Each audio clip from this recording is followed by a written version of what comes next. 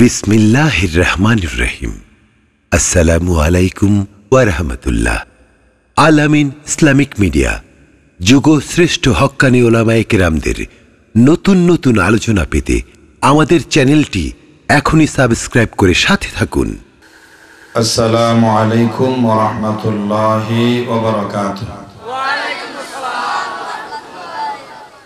ইন্নাল الحمد لله نحمده ونستعينه ونستغفره ونؤمن به ونتوكل عليه ونعوذ بالله من شرور أنفسنا ومن سيئات أعمالنا من يهده الله فلا مضل له ومن يضلله فلا هادي له. ونشهد أن لا إله إلا الله. وحده لا شريك له لا ند له ولا ضد له ولا مثل له ولا مثيل له ولا نظير له ولا شبيه له. أحدا صمدا لم يلد ولم يولد. ولم يكن له كفوا أحد. ونشهد أن سيدنا وحبيبنا ومولانا محمدا عبده ورسوله الذي أرسله بالحق بشيرا ونذيرا وداعيا إلى الله بإذنه وسراجا وقمرا منيرا فقد قال الله تعالى في كلامه المجيد وفي فرقانه الحميد. أما بعد فأعوذ بالله من الشيطان الرجيم. بسم الله الرحمن الرحيم. قل هو الله أحد الله الصمد لم يلد ولم يولد ولم يكن له كفوا أحد. وقال تعالى في شان حبيبه آمرا ومخبرا. إن الله وملائكته يصلون على النبي. يا أيها الذين آمنوا صلوا عليه وسلموا تسليما. صلى الله على سيدنا محمد وعليه وأصحابه وسلم আপনারা কেমন আছেন খুব বেশি কষ্টের মধ্যে আছেন মনে হয় বেশি কষ্টে আছেন তো আপনাদের আওয়াজ এমন যেন মনে হচ্ছে আপনাদের সকলকেই এই মুহূর্তে হাসপাতালে ভর্তি না করালে অনেকেই জেট হয়ে যাবেন অনেকেই সকালবেলায় যে পাবলিশটি করতে হবে সে আর নাই। সিরিয়াস ভাবে রুগী আপনারা। এমন তো নয়। এমন নাকি? সবাই মোটামুটি ভালো আছেন তো? আহা অনেকে আছে মন খুব ভালো আছে কিন্তু তারপরেও মনে করে ভালো আছে বললে আবার ডাকাত আসবে। টাকা পয়সা বেশি হয়েছে এরকম মনে করবে। ভালো আছি বলে না আছি কোনো মতে বেশি ভালো না। না শুকুর ঠিক না বল? তো প্রাণ খুলে জবান ছেড়ে মোহাব্বতের সাথে আপনাদের একটু বলতে হবে, আমরা সবাই কেমন আছি? আলহামদুলিল্লাহ আমরা ভালো আছি, বলেন আলহামদুলিল্লাহ আমরা ভালো আছি। তো ভালো থাকলে এখানে দরুদ শরীফ পড়তে কি কোনো মানা আছে? আর দরুদ শরীফ পড়লে কি কোনো ক্ষতি আছে নাকি? লাভ আছে। লাভ না ক্ষতি?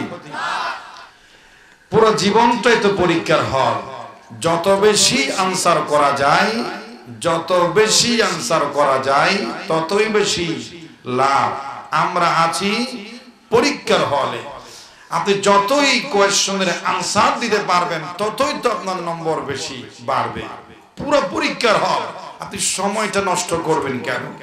প্রতিটা মুহূর্ত আপনাকে ভালোর দিকে আনসার করতে হবে। যে আনসার করলে আল্লাহ পাক খুশি হন। জান্নাতের কাছাকাছি যাওয়া যায়, আল্লাহ সন্তুষ্টি অর্জন করা যায়, নেকি অর্জন করা যায়, এই জ্ঞান, হুঁশ রাখতে হবে। আমরা প্রাণ খুলে জবান ছেড়ে মোহাব্বতের সাথে পড়ছি বিকামালিহি কশফত দুজা বিজামালিহি।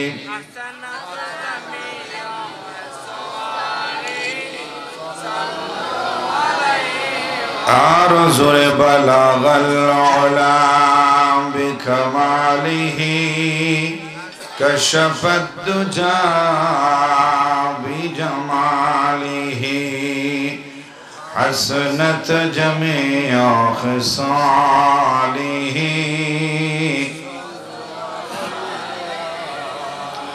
يا صاحب الجمال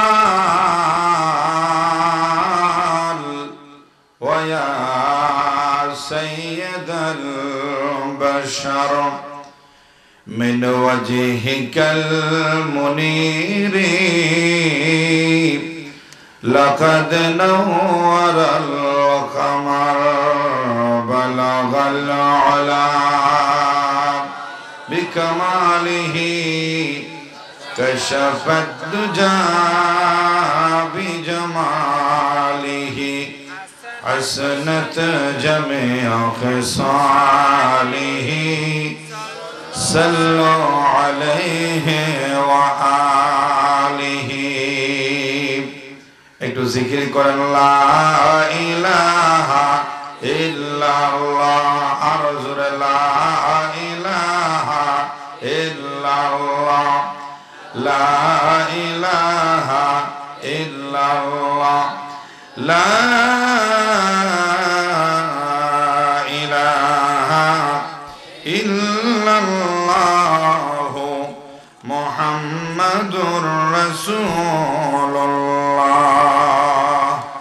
উপস্থিত দিনদার, ইমানদার ভাইরা আল্লাহ রাসূলের মুহিব্বিন কালোজয়ী, চিরন্তন প্রতিদিশা মহাগ্রন্থ আল কোরআনের সাথে মোতাল্লিকিন আমার প্রাণ প্রিয় ভাইরা, পর্দার আড়ালে অবস্থানরত নিজ নিজ সুবিধা অনুযায়ী যারা যেখানে কোরআনের এই কথা শুনছেন, সকলকে উদ্দেশ্য করে আমি আবারও একটি সালাম জানাচ্ছি, বলছি আসসালামু আলাইকুম রহমতুল্লাহ। আমরা আল্লাহ পাক রব্বুল ইজ্জত ওয়াল জালাল এর আলিশান দরবারে দরবারে আলিশানে হাজার হাজার লাখো লাখো অনন্ত অযুত কোটি কালেমত শুকর আদায় করছি। যে আল্লাহ পাক সুবহানাহু ওয়া তাআলা পাপে ভরা, পঙ্কিলতায় ভরা, ফিতনা ফসাদে ভরা হাজার লক্ষ দিক থেকে শয়তানের হাতচানি প্রতি মুহূর্তে যুব সমাজ, মুরব্বিয়ানি কেরাম, মা বোন, শিশু কিশোর, সবাইকে এক এক বয়সের মানুষকে এক এক জিনিস, এক এক আইটেম প্রকার শয়তানি দিয়া হাজার হাজার লক্ষ কোটি মানুষকে শয়তানি কর্মকাণ্ডে জড়িয়ে রেখেছে বিভিন্ন মাধ্যমে। মানুষ এখন যে বলা হয়েছিল, ইমান টিকিয়ে রাখা অগ্নি স্ফুলিঙ্গ হাতির তালুতে রাখার মতো হবে। সেই অবস্থায় এসেছি আমরা। এই সমস্ত ঝামেলা শয়তানি কাজ থেকে কোরআনের বাগানে, রাসূলের ভাষায়, এটি জান্নাতের বাগানে, জান্নাতি পরিবেশে বসার তৌফিক দিলেন আমাদেরকে। একটু আওয়াজ করে বলেন কে? সময় জানে আল্লাহ, তবে আপনারা যেভাবে মুখ বন্ধ করে বসে আছেন জানা বিষয় আপনাদের প্রশ্ন করতে হয়। আমাদেরকে বসার, আসার তৌফিক দিয়েছেন কে? আর আওয়াজে কে দিয়েছেন? ওই আল্লাহ পাকের শুকরিয়া আদায় করোনার্থে প্রাণ খুলে জবান ছেড়ে মোহাব্বতের সাথে সকলে দারাজ কণ্ঠে বলছি, আলহামদুলিল্লাহ। আরও আওয়াজে বলেন, আলহামদুলিল্লাহ। নিয়ত ভালো করেন কাউকে শোনানোর জন্য নয়। আমার আল্লাহকে খুশি করানোর জন্য যদি আলহামদুলিল্লাহ বলা হয়, সওয়াব বেশি নাকি কম? বেশি নাকি কম? এই নিয়তে বলবেন, আমরা সাথে সাথে লক্ষ কোটি, তার চাইতে অনেক অনেক বেশি দরুদ সালামের হাদিয়া পেশ করছি সারওয়ারে কায়নাত। নূরে মুজাসসাম রহমতে দো আলম, সর্বকালের সর্বযুগের সর্বশেষ সর্বশ্রেষ্ঠ মহামানব। বিশ্বনবী মোহাম্মদ রসুল্লাহ সম্মানিত হাজরিন, আমরা একটি সৌরা আপনাদের সামনে তেলাওয়াত করেছি। সংক্ষিপ্ত কথা বলব, টাইম অনেক বেশি হয়ে গেছে। তো আমরা আলোচনা শুরু করার আগে আপনাদের অনেকের একটু ক্লান্তি এসেছে। একটা দৃষ্টান্ত দিয়ে আমি আমার আলোচনার ভিতরে প্রবেশ করব। সকলে দোয়া করেন। যাতে আপনাদের রুচি, আপনাদের সন্তুষ্ট এবং আপনাদের খোরাক, হৃদয়ের খোরাক, আপনাদের যেগুলো অভাব আছে, যেগুলো পূরণ হয়, আপনাদের চাহিদা অনুযায়ী যেন আল্লাহ পাক কথা বলার জন্য তৌফিক দান করে আমরা বলি, আমিন। ওমা তৌফিক ইল্লা বিল্লাহ, আলাইহি তাওয়াক্কালতু ওয়া ইলাইহি উনীব। সুবহানাকা লা ইলমা লানা ইল্লা মা 'আল্লামতানা, ইন্নাকা আনতাল আলিমুল হাকিম। আগে জানতে চাই মেয়েরা যখন তরকারি রান্না করে, প্রতিদিন কি শ্বাস একই রকম হয়? কথা বলেন না কেন, হয় একই রকম? তো একটু উনিশ বিশ হয় বলে কি কোন ভদ্রলোক সেগুলো, তরকারিগুলোকে একদিকে নিক্ষেপ করতে পারে? মেনে নিতে হয়, ঠিক কিনা বলেন ভাই? এটা আল্লাহ পাকের দান, সব সময় একই রকম রান্না হতে হবে। এরকম মনে করা ঠিক নয়। এরকম মনে করে যদি কেউ স্ত্রীর সঙ্গে দুর্ব্যবহার করে তাহলে তার নাম জালেমের কাথায় উঠবে। ঠিক কিনা বলেন মেনে নিতে হয়। তরকারি রান্না করা যেরকম কঠিন কাজ, আল্লাহর কোরআন এবং নবীর হাদিস নিয়ে জনগণের সামনে কথা বলা এর চাইতে অনেক কঠিন কাজ। মজা একটু কম হোক ব্যাস হোক, আবার আমাকে ছেড়ে চলে যাবেন নাকি? ছেড়ে যাবেন নাকি? কারা কারা যাবেন না একটু হাত তুলে দেখান। তো কষ্ট হলে থাকবেন, বেশিক্ষণ করব না, ইনশাআল্লাহ। বলুন, ইনশাআল্লাহ। সকলে বলেন, ইনশাআল্লাহ। দোয়া করব প্রাণ থেকে। একজন মুমিন ব্যক্তির হাত যদি আল্লাহর কাছে পছন্দ হয়, ওই হাতের উসিলায় আমার, আপনার বিগত জীবনের তাম জিন্দগির গোনা মাফ করে দেওয়ার ক্ষমতা আমার আল্লাহ পাকের আছে নাকি নাই? আছে নাকি নাই? নিয়তটাকে ভালো করেন। আল্লাহ পাক তৌফিক দান করুক, আমরা বলি আমিন। একটা ইঁদুর বাইদ হয়েছে, মুরিদ হয়েছে এক পীরের। কার মুরিদ হয়েছে? কথা বলেন, কার মুরিদ হয়েছে? ইঁদুর মুরিদ হয় পীর সাহেবের কাছে এসে বলে, পীর সাহেব, সালাম দিয়ে বলে আমি একটা অভিযোগ নিয়ে আপনার কাছে এসেছি। পীর সাহেব বলে, আমার মুরিদ ইঁদুর তোমার কি মনের ব্যথা? অভিযোগ আমাকে বলো। মুরিদ ইঁদুর বলে, ও আমার হুজুর বাবা, বিড়ালের জ্বালায় সমাজে কোথাও আমরা টিকতে পারছি না। হুজুর বলে, ইঁদুর রে, এটাই তো স্বাভাবিক, তোরে বিড়ালে দৌড়াবে। তো আমি কি করতাম? আমি নহমাতের আমি কি করতাম? ইঁদুর বলে, হুজুর, আপনি আল্লাহর কাছে দোয়া করেন যেন আপনার দোয়াই আমি যেন বিড়াল হয়ে যায় কি হয়ে যায়? বিড়াল হয়ে যায়। আপনি মুস্তাজাব দোয়া করলে আল্লাহ পাক আপনার ফরিয়াদ ফেলবেন না। একটু দোয়া করেন, আমি বিড়াল হতে চাই। বিড়ালের আক্রমণ থেকে বাঁচার জন্য। মুরিদ কেঁদে কেঁদে বলছে পিসাব তো আর ফেলতে পারে না, দোয়া করেছে আল্লাহ। আমার মতো বড় অনুগত মুরিদ ইঁদুর বিড়াল হতে চায়। তুমি দয়া করে আমার মুরিদ ভক্ত ইঁদুরকে বিড়াল বানায়া দাও। এটা আমার কোরআন হাদিসের কথা নয়। একটা দৃষ্টান্ত দিয়ে আপনাদেরকে আমি আলোচনা শুরু করতে চাই। শুধু কোরআন আর হাদিস দিয়ে বললে তো আপনারা উঠে উঠে চলে যাবেন। কিছু মজার টেস্টের মতো। মেশাল উদাহরণ আল্লাহ দিয়েছেন। মানুষকে বোঝাবার জন্য আমরাও দিচ্ছি। ঠিক ভাই? বিড়াল বানিয়ে দেওয়া হলো। বাড়িতে চলে গেল নেছে এনেছে। লেস নাড়ায়া নাড়ায়া বাড়িতে চলে গেল। আমি বিড়াল হয়ে গেলাম। কোন বিড়ালের বাচ্চা আর আমার দৌড়াবে না। স্বাধীনভাবে ঘরে পিড়া ঘোরা ঘোরাফেরা করে। কেউ আর বিড়াল তোর উপর আক্রমণ করে না, খুব সুখে আছে। কিছুদিন পরে দেখা যায় আবারও হুজুরের দরবারে এসে হাজির। সালাম দিয়ে বলে, হুজুর, আসসালাম আলাইকুম। পিসাব বলে, বিড়াল রে, ইঁদুর মার্কা বিড়াল। বিড়াল মার্কা ইঁদুর, তুই কেন আবার এসেছিস? কেমন আছিস? এখন তো মোটামুটি ভালো। হুজুর, এখন আর সমস্যা বেশি হয়ে গেছে, আমি সুখে নাই। কে সুখে নাই? আগে তো আমাকে বিড়াল দৌড়াতে, অনেক ভালো ছিলাম। এখন বিড়াল হয়ে কুত্তার জ্বালায় বাসি না। যেখানে সেখানে কুত্তা দৌড়াই কিসে দৌড়ায়? কুত্তার আক্রমণে জীবন অতিষ্ঠ। মিস্টার ডগ এর আচরণে আমি অতিষ্ঠ হয়ে গেলাম। হুজুর বলে, আমি কি করব? তুই এখন কি বলতে চাস? হুজুর দয়া করে আল্লাহকে বলেন, আমাকে যেন মিস্টার ডগ বানায়া দে। কি বানায়া দে? যাই হোক আল্লাহর কাছে দোয়া করলে আল্লাহ, আমার ভক্ত আমার ভক্ত মুরিদ আমার একটা আবদার করেছে, সে ডগ হতে চায়। আল্লাহর কাছে দোয়া করল, আল্লাহ পাক ডগ বানাই দিলেন নেছে নেছে বাড়িতে চলে গেল। কিছুদিন পরে আবার আসে, হুজুর বলছে, আমার মনে হয় ডগ হয়ে তুই ভরো সুখে আছিস, আর কোনো কথা নাই, আমার এমনি দেখতে আসছিস মনে হয়। ডগ বলে, হুজুর ভালো নাই বিড়াল থেকে অনেক ভালো ছিলাম, বিড়াল থাকা অবস্থা এখন আরও দুঃখ বেশি। কিসের দুঃখ? হুজুর, আমি কুকুর। আগে তো বিড়ালকে অনেক মানুষ আদর করত, ভালোবাসত। বিড়াল অনেক মানুষের প্রিয় ছিল, খাবার দাবার জুড়ত। কুত্তা আমার কপারে হাত দি যারা জুটে না।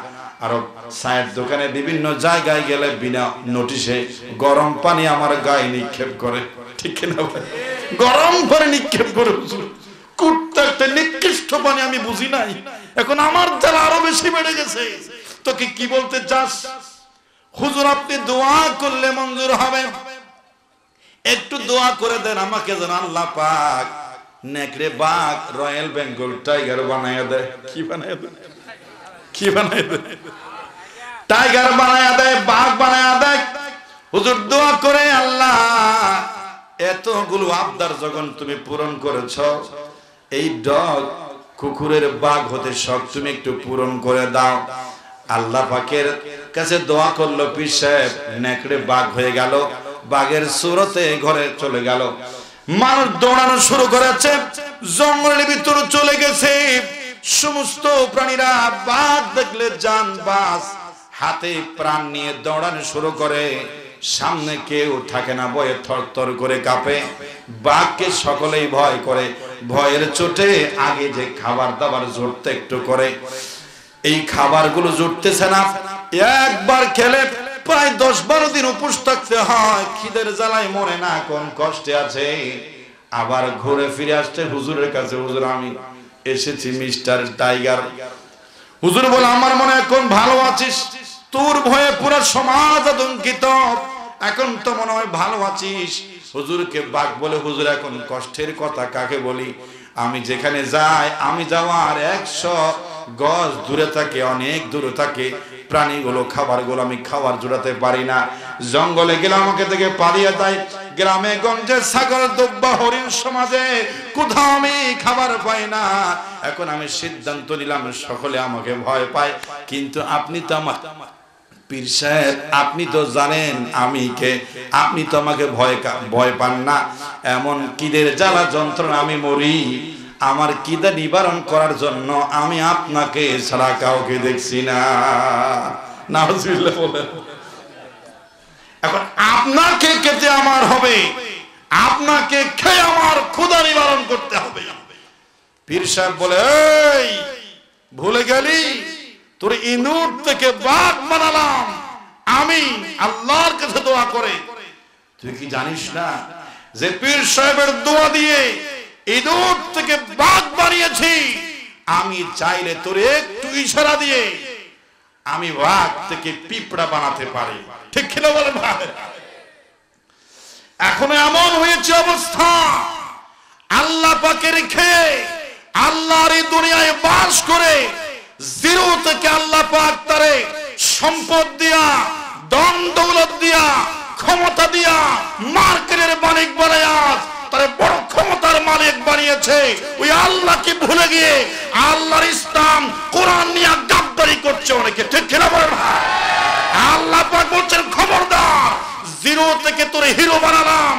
এত সম্মান দিলাম। আমার ইসলাম কোরআন আলে মোলামা নিয়ে যদি কাপদারি করস, আমার এক সেকেন্ড লাগবে না। তোর সমস্ত কিছু কেড়ে নিয়ে, তোরে আমি একদম নির্দিষ্ট পর্যায়ে পৌঁছাই দিতে আমার এক সেকেন্ড সময় লাগবে না। ঠিক কিনা বলেন ভাই এই বিশ্বাস আপনাদের আছে না নাই? কিসের ক্ষমতার বড়াই? আল্লাহ পাক বানিয়েছেন। সময় আল্লাহর লাগবে না। হিরু থেকে মুহূর্তের ভিতরে জিরো বানায়া, ইজ্জত কেড়ে নিয়া, জোতার মালা পরায়া, মানুষের অপমানের গাড়ি মুখে দিয়া বিদায় করতে পারে কুত্তার মতো। সেই ক্ষমতা আল্লাহর আছে না নাই? এই বিশ্বাস আপনাদের আছে না নাই? কার কার আছে? হাত তোলেন তো। আল্লাহ তুমি কবুল করো, আমিন। আল্লাহ পাক চাইলে যা চায় তেমন পারেন নাকি পারেন না? আল্লাহ পাক রব্বুল বলেন, তোমরা ছোট্টবেলায় ঈমান এনেছি।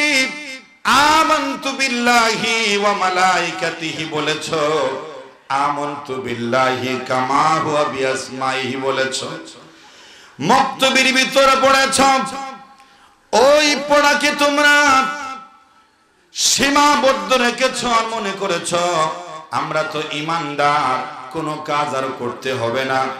আমরা ইমান এনেছি, এই কথা আমাদের জান্নাত নিয়ে যাবে এমন আশা করে বসে আছো। আল্লাহ পাক রব্বুল আলামিন সূরান কাবুতে বলেন,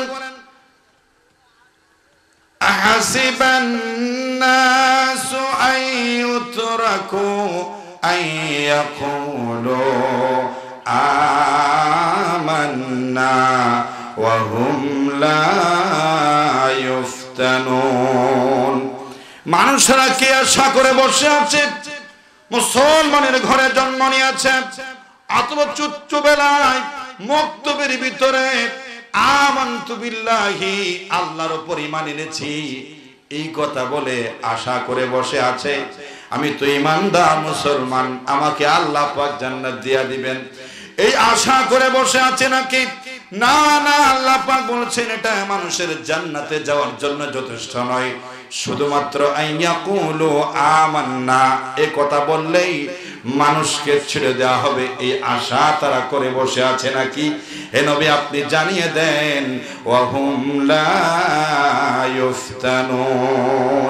তাদের কি কি আমি একটু পরীক্ষা করব না? একটু পরীক্ষা কি তাদের করব না বিভিন্ন মাধ্যমে? ওই ইমানের দাবিতে তারা সত্যবাদী কিনা?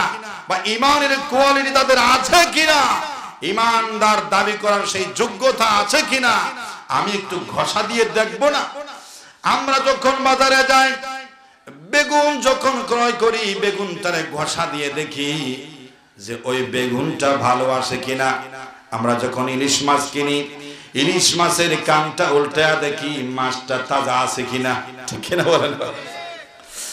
যে কোনো জিনিস যখন আমরা বাজার থেকে ক্রয় করি ঘষা দেওয়া দ্বারা জাস্টিফাই করা ছাড়া কোন জিনিস আমরা, পাঁচ টাকার জিনিস আমরা ঘরে তুলি না, গ্রহণ করি না, আমাদের চয়েস হয় না।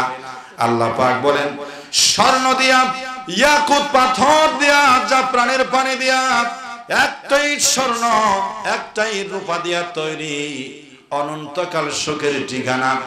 নাজনে আমদ হুরগেলমান এত সুখের জান্নাত।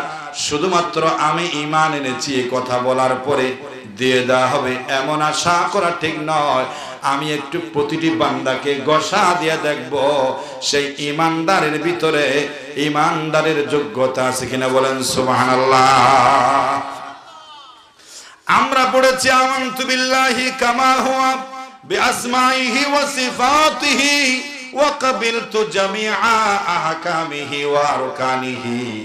এই দোয়াটা আমরা পড়েছি মানে মুজমাল হিসাবে। কিন্তু এই দোয়াটা মুখস্থ তোতা পাকে করার জন্য আল্লাহ পাক আমাদেরকে বলে নাই। প্রতিটা কথা আমাদের বুঝতে হবে, সেখানে আমরা কি বলেছি? আজকের মক্তব ইসলামের জ্ঞান উঠতে উঠতে এমন অবস্থায় পৌঁছে গিয়েছে ছোট্ট বেলায় পর্যন্ত মাদ্রাসায় যারা পড়ে না, ইমানে মজমলের অর্থ তারা বোঝে না। আমরা কি বলেছিলাম? আপনারা কি কেউ বলতে পারবেন? অনেকেই পারবেন না বেশিরভাগ লোক।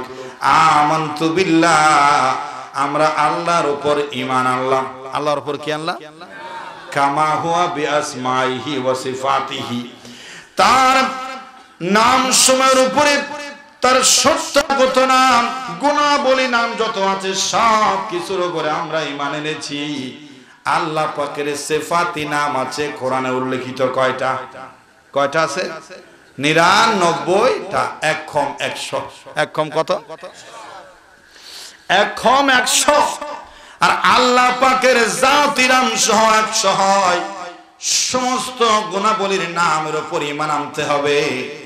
আমরা সোরা হাসরের শেষ দিন আর পড়ি, সেখানে তো লাগা আছে প্রায় সাত, আটটা গুণাবলী নাম একসাথে। আল মালিকুল কুদ্দুসুস সালামুল মুমিনুল মুহাইমিনুল আজিজুল জব্বারুল মুতাকাব্বির, একসাথে আটটি। ঠিক কিনা বলেন এগুলো হচ্ছে আল্লাহ পাকের গুণাবলী না। আল্লাহু ইলাহা ইল্লা হুয়াল হাইয়ুল কাইয়ুম। এখানে আছে দুইটা গুণাবলী। এইভাবে করে কোরআনুল কারীমের বিসমিল্লাহ থেকে আলিফ লাম জালিকাল কিতাব থেকে শুরু করে মিনাল জিন্নাতি ওয়ান নাস পর্যন্ত নিরানব্বইটি গুণাবলী আছে। ওগুলো শুধু পড়লে হবে না প্রতিটি গুণাবলীর নাম হলো একদম জিন্দা। কার্যকরী। ওই গুণাবলী গুলোর ব্যাপারে আল্লাহর উপর ইমান আনতে হবে। আমরা আল্লাহর উপর ইমান এনেছি, কথা বললে যথেষ্ট নয়। কেউ যদি বলে আল্লাহর উপর ইমান এনেছি, তাকে চারটি শর্ত মানতে হবে। চারটি বিষয় ভালো করে জেনে রাখতে হবে। এক নম্বর হলো জাতুল্লাহ, আল্লাহ পাকের জাত। আল্লাহ পাকের জাত সত্যাগত জাত, অস্তিত্ব অকাত্য প্রমাণিত সত্য আল্লাহ পাকের অস্তিত্ব আছে নাকি নাই? আল্লাহ আছে না নাই? সন্দেহ আছে নাকি? অনেকেই বলে দেয়ার ইজ নো গড বলে না কি বলে না? আনসিন ইজ নাথিং স্রষ্টা বলতে কেউ নাই। কেন এই কথা বলো? বলে আনসিন ইজ নাথিং যা দেখা যায় না। তা মানতে পারি না। কত হুজুর ওয়াজ করেছে, আল্লাহ আছে আল্লাহ আছে। তাম খোদার খোদাইয়ের ভিতরে যে কথা বলে, আল্লাহকে কেউ এখনও দেখাইতে পারে নাই। সুতরাং যা দেখি না তা মানি না জুড়ে বলেন, নাউজুবিল্লাহ। আল্লাহ পাকের অস্তিত্বটাকে দেখার মতো করে বিশ্বাস করতে হবে। আল্লাহর জাত, আল্লাহর অস্তিত্ব আছে কি নাই? আছে কি নাই? অকাট্য, প্রমাণিত সত্য বিষয়। আল্লাহ পাকের অস্তিত্ব। এ ব্যাপারে আমি পরে কথা বলব।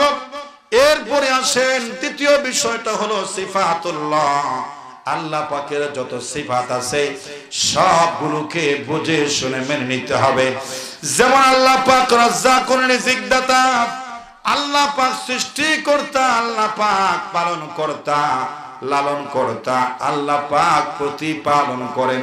যদি আল্লাহ পাক রিজিক দাতা হয় তাহলে আপনাকে রিজিকের সন্ধানের জন্য বাম পথে কেন আগাতে হবে, সুদ কেন খেতে হবে, ঘুষ কেন খেতে হবে, বাম হাতের ইনকাম কেন করতে হবে, মানুষের আয়েল কেন টেলতে হবে, মানুষের হক কেন আপনার নষ্ট করতে হবে রিজিক কালেকশনের জন্য। আল্লাহ পাক কি এতই দুর্বল যে এমন বলেছেন যে আমি রিজিক তোর দিতে পারব না, তুই যেভাবে পারিস সেভাবে কুশল করে নে, এমন নাকি? এমন নাকি? আপনাকে সৃষ্টি করার পঞ্চাশ হাজার বছর আগে আল্লাহ রব্বুল আলামিন তুমি কি খাবে? রেডি করেছেন? অন্যায় পথে যাওয়া মানে হলো আল্লাহকে রিজিক দাতা হিসেবে মানতে সন্দেহ করা। ঠিক কিনা বলেন ভাই? যাদের উপরে আল্লাহ পাকের ব্যাপারে আল্লাহ রিজিক দিতে পারেন, আমার তকদিরে যদি থাকে বিছানায় থাকলেও রিজিক চলে আসবে। তবে আমার দায়িত্ব হচ্ছে চেষ্টা করা। রিজিকের জন্য সঠিক পথে নিয়মতান্ত্রিক ভাবে আমার সিস্টেম অনুযায়ী আমার রিজিক কালেকশন করা আমার দায়িত্ব। আর রিজিক আমার যা লাগবে তা আমার হাতে প্রয়োজনের আগেই পৌঁছে দেওয়ার দায়িত্ব কার? আল্লাহ নিজে নিয়েছেন। রব হলেন তিনি। আল্লাহ পাকের আরেকটা নাম হলো গোনা বলে রব্বিল আলামিন রব। রব বলে তাকে, যার যে সময় যাহা প্রয়োজন, বলেন, যার যার যে সময় যাহা প্রয়োজন, সেটা চাওয়ার আগে, সেটা চাওয়ার আগে যিনি নিজের হাতের নাগালে পৌঁছাই দিতে পারেন, তিনার নাম হলেন আল্লাহ। আল্লাহ বলেন। সেই বিশ্বাস আছে না না বিশ্বাস যদি না থাকে, দেখো আকাশের মধ্যে লক্ষ কোটি পাখিরা বেড়ায়, আকাশে উড়ে বেড়ায়, সকালবেলা বের হয়ে যায়। ব্যবসা নাই, বাণিজ্য নাই, চাকরি নাই, বাকরি নাই, ছেলে সন্তান, রিজিক এনে দেবে এমন কোনো কথাবার্তা নাই। সকাল বেলায় আল্লাহর উপর ভরসা করে বের হয়ে যায়। কোন ব্যবসা বাণিজ্য ছাড়া সন্ধ্যা বেলায় আল্লাহ পাক তার রিজিক দিয়া তার পেট ভর্তি করে দিয়া হাসি মুখে তার বাড়িতে ফিরে দেয়। সুবহানাল্লাহ। শুধু তাই নয়, সাগর মহাসাগরের তলায়, যেখানে একদম তলদেশে কোন একটা ছোট্ট পোকা যদি যেটা মাইক্রোস্কোপ যন্ত্র তারা অনুবীক্ষণ যন্ত্র ছাড়া সামান্য খালি চোখে দেখা যায় না। এমন ক্ষুদ্র একটা পোকাও যদি সাগর, মহাসাগরের যেখানে মণিমুক্তা থাকে সেখানে পাথরের সাথে লাগানো দেখাও যায় না কালি চোখে মেশিন ছাড়া। সে অনেক গভীরের সাগরের তলা একটা পোকাও যদি খোদার যন্ত্রণায় চিৎকার মারে। কেউ না শোনো, আমার আল্লাহ পাক তার খোদার যন্ত্রণার চিৎকার শোনে এবং সাথে সাথে তার মুখে আল্লাহ পাক রিজিক পৌঁছায় দেয়া, তার মুখে হাসি ফোটায় দেয়, বলেন সুবহানাল্লাহ। কাদের কুদরত দারি বার কামাল, আন্তা রব্বি, আন্তা হাসবি জুল জালাল। এই বিশ্বাস আপনাদের আছে না নাই? আল্লাহ কি দুর্বল নাকি সবল? যদি এই আস্থা থাকে, আগামীকাল থেকে সমস্ত অন্যায় বাতিলের পথ ছেড়ে দিয়ে আল্লাহর উপর অবিচল আস্থা রেখে আলাল পথে পা বাড়াতে হবে। ঠিক কিনা বলেন ভাই? যদি আপনি মুখে আল্লাহর প্রতি আমার আস্থা আছে তাহলে আপনি সুদ খাবেন কেন? এটা আল্লাহ পাক নিষেধ করেছেন। সুদ খাওয়া ছাড়া আমি তোরে বাসায় রাখব বান্দাই, ওয়াদা তো আমি দিয়েছি। কেন বাড়াবাড়ি করিস? ঠিক খেলা বলেন ভাই? ঘুষ খাবি না, মদ শরাব খাবি না, মানুষের হক নষ্ট করবি না, দুর্নীতি করবি না, মানুষের সাথে প্রতারণা করবি না, মানুষের হক নিয়ে চিনিমিনি খেলবি না, জনগণের সম্পদকে অন্যায়ভাবে গ্রাস করবি না রাস্তার ইট কালবার চুরি করবি না, জনগণের ট্যাক্সের দেওয়া টাকা আত্মসাৎ করবি না। বান্দারে, আত্মসাৎ যদি করস, আমার মনে হয় তোর দিলের ভিতরে আমার ক্ষমতার প্রতি সন্দেহ আছে। বলেন নাউজুবিল্লাহ ঠিক কিনা বলেন ভাই? একটু জিকির করেন, লা ইলাহা ইল্লাল্লাহ।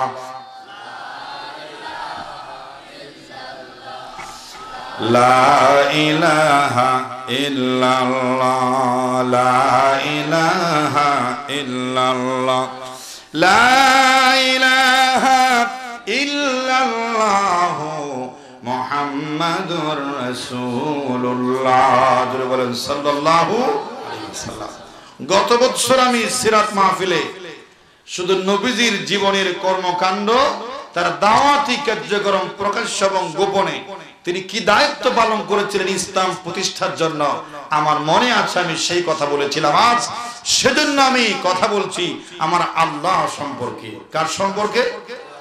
আল্লাহ সম্পর্কে। কার সম্পর্কে বলেন? শুধু আল্লাহর সেফাত নয়, এরপরে আল্লাহ পাকের কুদরত আল্লাহ পাকের কুদরত মানে হলো আল্লাহ পাকের ক্ষমতা। আল্লাহ পাকের শক্তি আছে না নাই? আছে না নাই? আল্লাহ দাবি করেছিল, ফেরাউনা না রব্বুকুমুল আলা। আল্লাহ দাবি করেছিল নমরুদের বাচ্চা। আল্লাহ দাবি করেছিল অনেকেই, কিন্তু তারা আজ হারিয়ে গেছে যুগের চাকার আবর্তনে। ওদের কোনো ক্ষমতায় ছিল না। আমার আল্লাহ বলেন, আমার মতো আল্লাহ তো অনেকেই দাবি করেছিল। এই আল্লাহ দাবি করনেওয়ালা মানুষগুলোরে আমি কি করেছি তোমরা দেখো?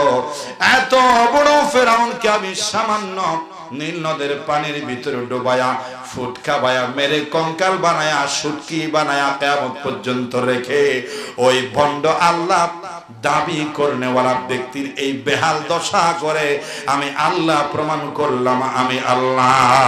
বলেন, ঠিক কিনা? এই ক্ষমতা আমার আছে। অনেকে আমার চেয়ার নিয়ে আটনাটানি করবে। আমি তার এমন পরিণতি করে দেখাবো যে আমার ক্ষমতা আছে, সুযোগ দিয়েছি। তবে তুই যখন আমার চেয়ার নিয়ে টানাটানি করস, তোর কি পরিণতি আমি ঘটালাম তাকিয়ে দেখ। নমরুদকে ন্যাংনামশা দিয়া জুতা পরে খাওয়ায়া খাওয়ায়া বেইজ্জত করে দাবি করে, আল্লাহ তার পরিণতি করায়া আমি প্রমাণ করলাম প্র্যাকটিক্যালি একমাত্র আল্লাহ দাবি করার যোগ্যতা আমার আল্লাহর আছে বলেন সুবহানাল্লাহ। চার নম্বরে মেনে নিতে হবে আল্লাহ পাকের হুকুম হাকাম আপনি আল্লাহর পরিমাণ এনেছেন, ঠিক আছে, মেনে নিলাম। আল্লাহর সিফাতকে মেনে নিয়েছেন, মেনে নিলাম। আল্লাহ পাকের কুদরতকে আপনি বিশ্বাস করেন, মেনে নিলাম। তবে চার নম্বর শর্ত হলো আহকামুল্লাহ। আল্লাহ পাকের যত হুকুম, আহকাম আছে, সবগুলো মেনে নিলে আল্লাহর প্রতি ইমানটা যথাযথ হয়ে যাবে বলেন সুবহানাল্লাহ। এখন আল্লাহ পাকের আইন, হুকুম হাকাম বিধান আমরা মানতে পারি না। মুসলমান দাবি করি, কিন্তু আল্লাহ পাকের শ্রেষ্ঠ গোলামের নিদর্শন, নামাজ পড়তে বললে আমাদের অসুবিধা। ঠিক কিনা বলেন ভাই? এখন যদি বলি আপনারা, আজ ফজর থেকে আসা পর্যন্ত কারা কারা আল্লাহ পাকের শ্রেষ্ঠ গোলামি হুকুম পালন করে মাহফিলে এসেছেন, দোহা তুলে দেখান, হাত বেশি উঠবে নাকি কম উঠবে? বেশি উঠবে না কম উঠবে। যাদের দিলের ভিতরে সাহস আছে নামাজি তাদের হাত তো থরথর করতেছে আল্লাহকে এবং মাহফিলকে দেখানোর জন্য। কিন্তু অনেক হাত ভয়ে কাঁপতেছে প্যারালাইজ হয়ে গেছে তুলতে পারছে না ভয়ে। ঠিক না বলছে, আমি যদি আবার এতগুলো মানুষের সামনে জান্নাতের বাগানে মিথ্যা কথা বলি ফেরেস্তাদের রেকর্ড আর মানুষের রেকর্ড দুইটা রেকর্ড হয়ে যাবে। দুটাই যখন কেয়ামতের মাঠে আল্লাহ পাক বলবেন, মিথ্যাবাদী নামাজ পড়স নাই, তোরে মাফ করে দিতাম। কিন্তু এতগুলো মানুষের সামনে মিথ্যা বললি কেন? তোরে মাফ দেব না। অসুবিধা হয়ে যেতে পারে। ঠিক কিনা বলেন? মিথ্যা বলার জঘন্য অপরাধ। এজন্য আমরা অনেকেই গতানুগতিক হাত তুলে ফেলবেন। সমাজের অবস্থা এমন হয়েছে, গোটা বাংলাদেশের যেখানে যায় শতকরা দশ পার্সেন্টের উপরে পাঁচক্ত নামাজি পাওয়া যায় না। ঠিক কিনা বলেন ভাই? একশো বার সত্য, তার প্রমাণ হলো আগামীকাল ফজরে মসজিদে যাবেন। সমাজে পুরুষ আছে কয়জন, ছেলে মেয়ে আছে কয়জন, মসজিদে গেছে কয়জন? হিসাব করলে আপনি পেয়ে যাবেন দশ পার্সেন্টের চেয়ে বেশি নয়। ঠিক কিনা বলেন ভাই? কেন এই অবস্থা? আল্লাহ পাকের আহাকামের শ্রেষ্ঠ গোলামি নামাজ কেন দশ পার্সেন্ট পড়বে? নব্বই পার্সেন্ট কেন পড়বে? মুসলমানকে একশোতে একশো নামাজ পড়ে আল্লাহর শ্রেষ্ঠ হুকুমকে মাথা পেতে নিতে হবে। যদি মৃত্যুর ভয় তার দিলে থাকে। ঠিক কিনা বলে ভাই? আপনি জমিনটা দাবি করবেন। আদালত বলবে, জমিন যদি আপনার হয়, মুখে বললে হবে না। দাগ দেখান, খতিয়ান দেখান, কি দেখান? আর এস বিএস ঠিক আছে কিনা, দলিল ঠিক আছে কিনা দেখান। যদি জাল দলিল হয়, অথবা আপনি কোনো প্রমাণ পেশ করতে পারেন না, জমিন আপনারও হবে না, বরং উল্টো আপনাকে হ্যান্ডকাপ লাগায়া লাল দেগের জেলখানায় নিয়ে যাবে। ঠিক কিনা বল? কেন নিয়ে যাচ্ছ? জমিন তো তোমার নয় খামকা তুমি দাবি করলে কেন? এত টাকা পয়সা হয়রানি করলে কেন? তোমার তো কিচ্ছুই নাই। তুমি কেন বৃথা কষ্ট দিলে আমাদেরকে মামলার মধ্যে হাজির করলে? আল্লাহ পাক বলবেন, যখন জান্নাত চাইবেন আল্লাহর কাছে, আল্লাহ পাক বলবেন, যাওয়া যদি জান্নাত দাবি করো, জান্নাতের জন্য একটা আরএসবিএস খতিয়ান দলিল আল্লাহর নবী বলছেন।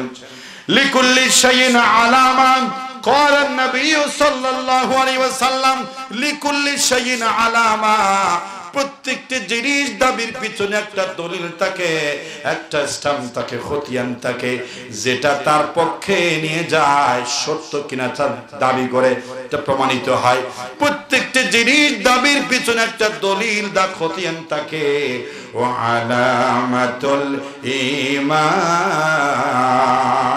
আর ঈমান দাবি করার একমাত্র দলিল হলো নবীজির সুললিত কণ্ঠের ভাষায় আসসালাত আসসালাত। জোরে বলেন, আল্লাহু আকবার।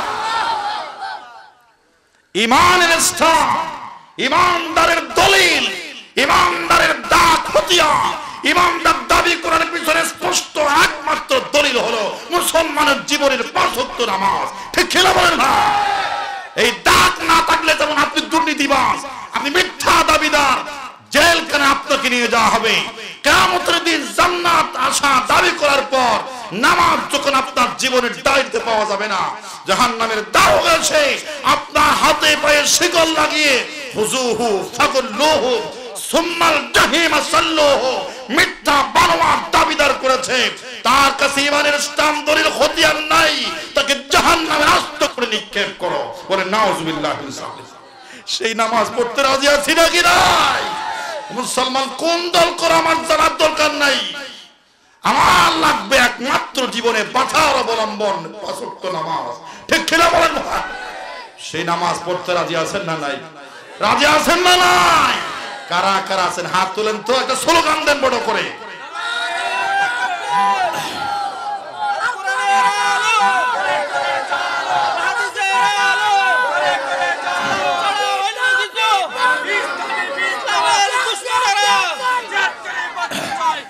সম্মানিত হাজরি, এটা দলীয় হাত নয়, দলীয় স্লোগান নয়।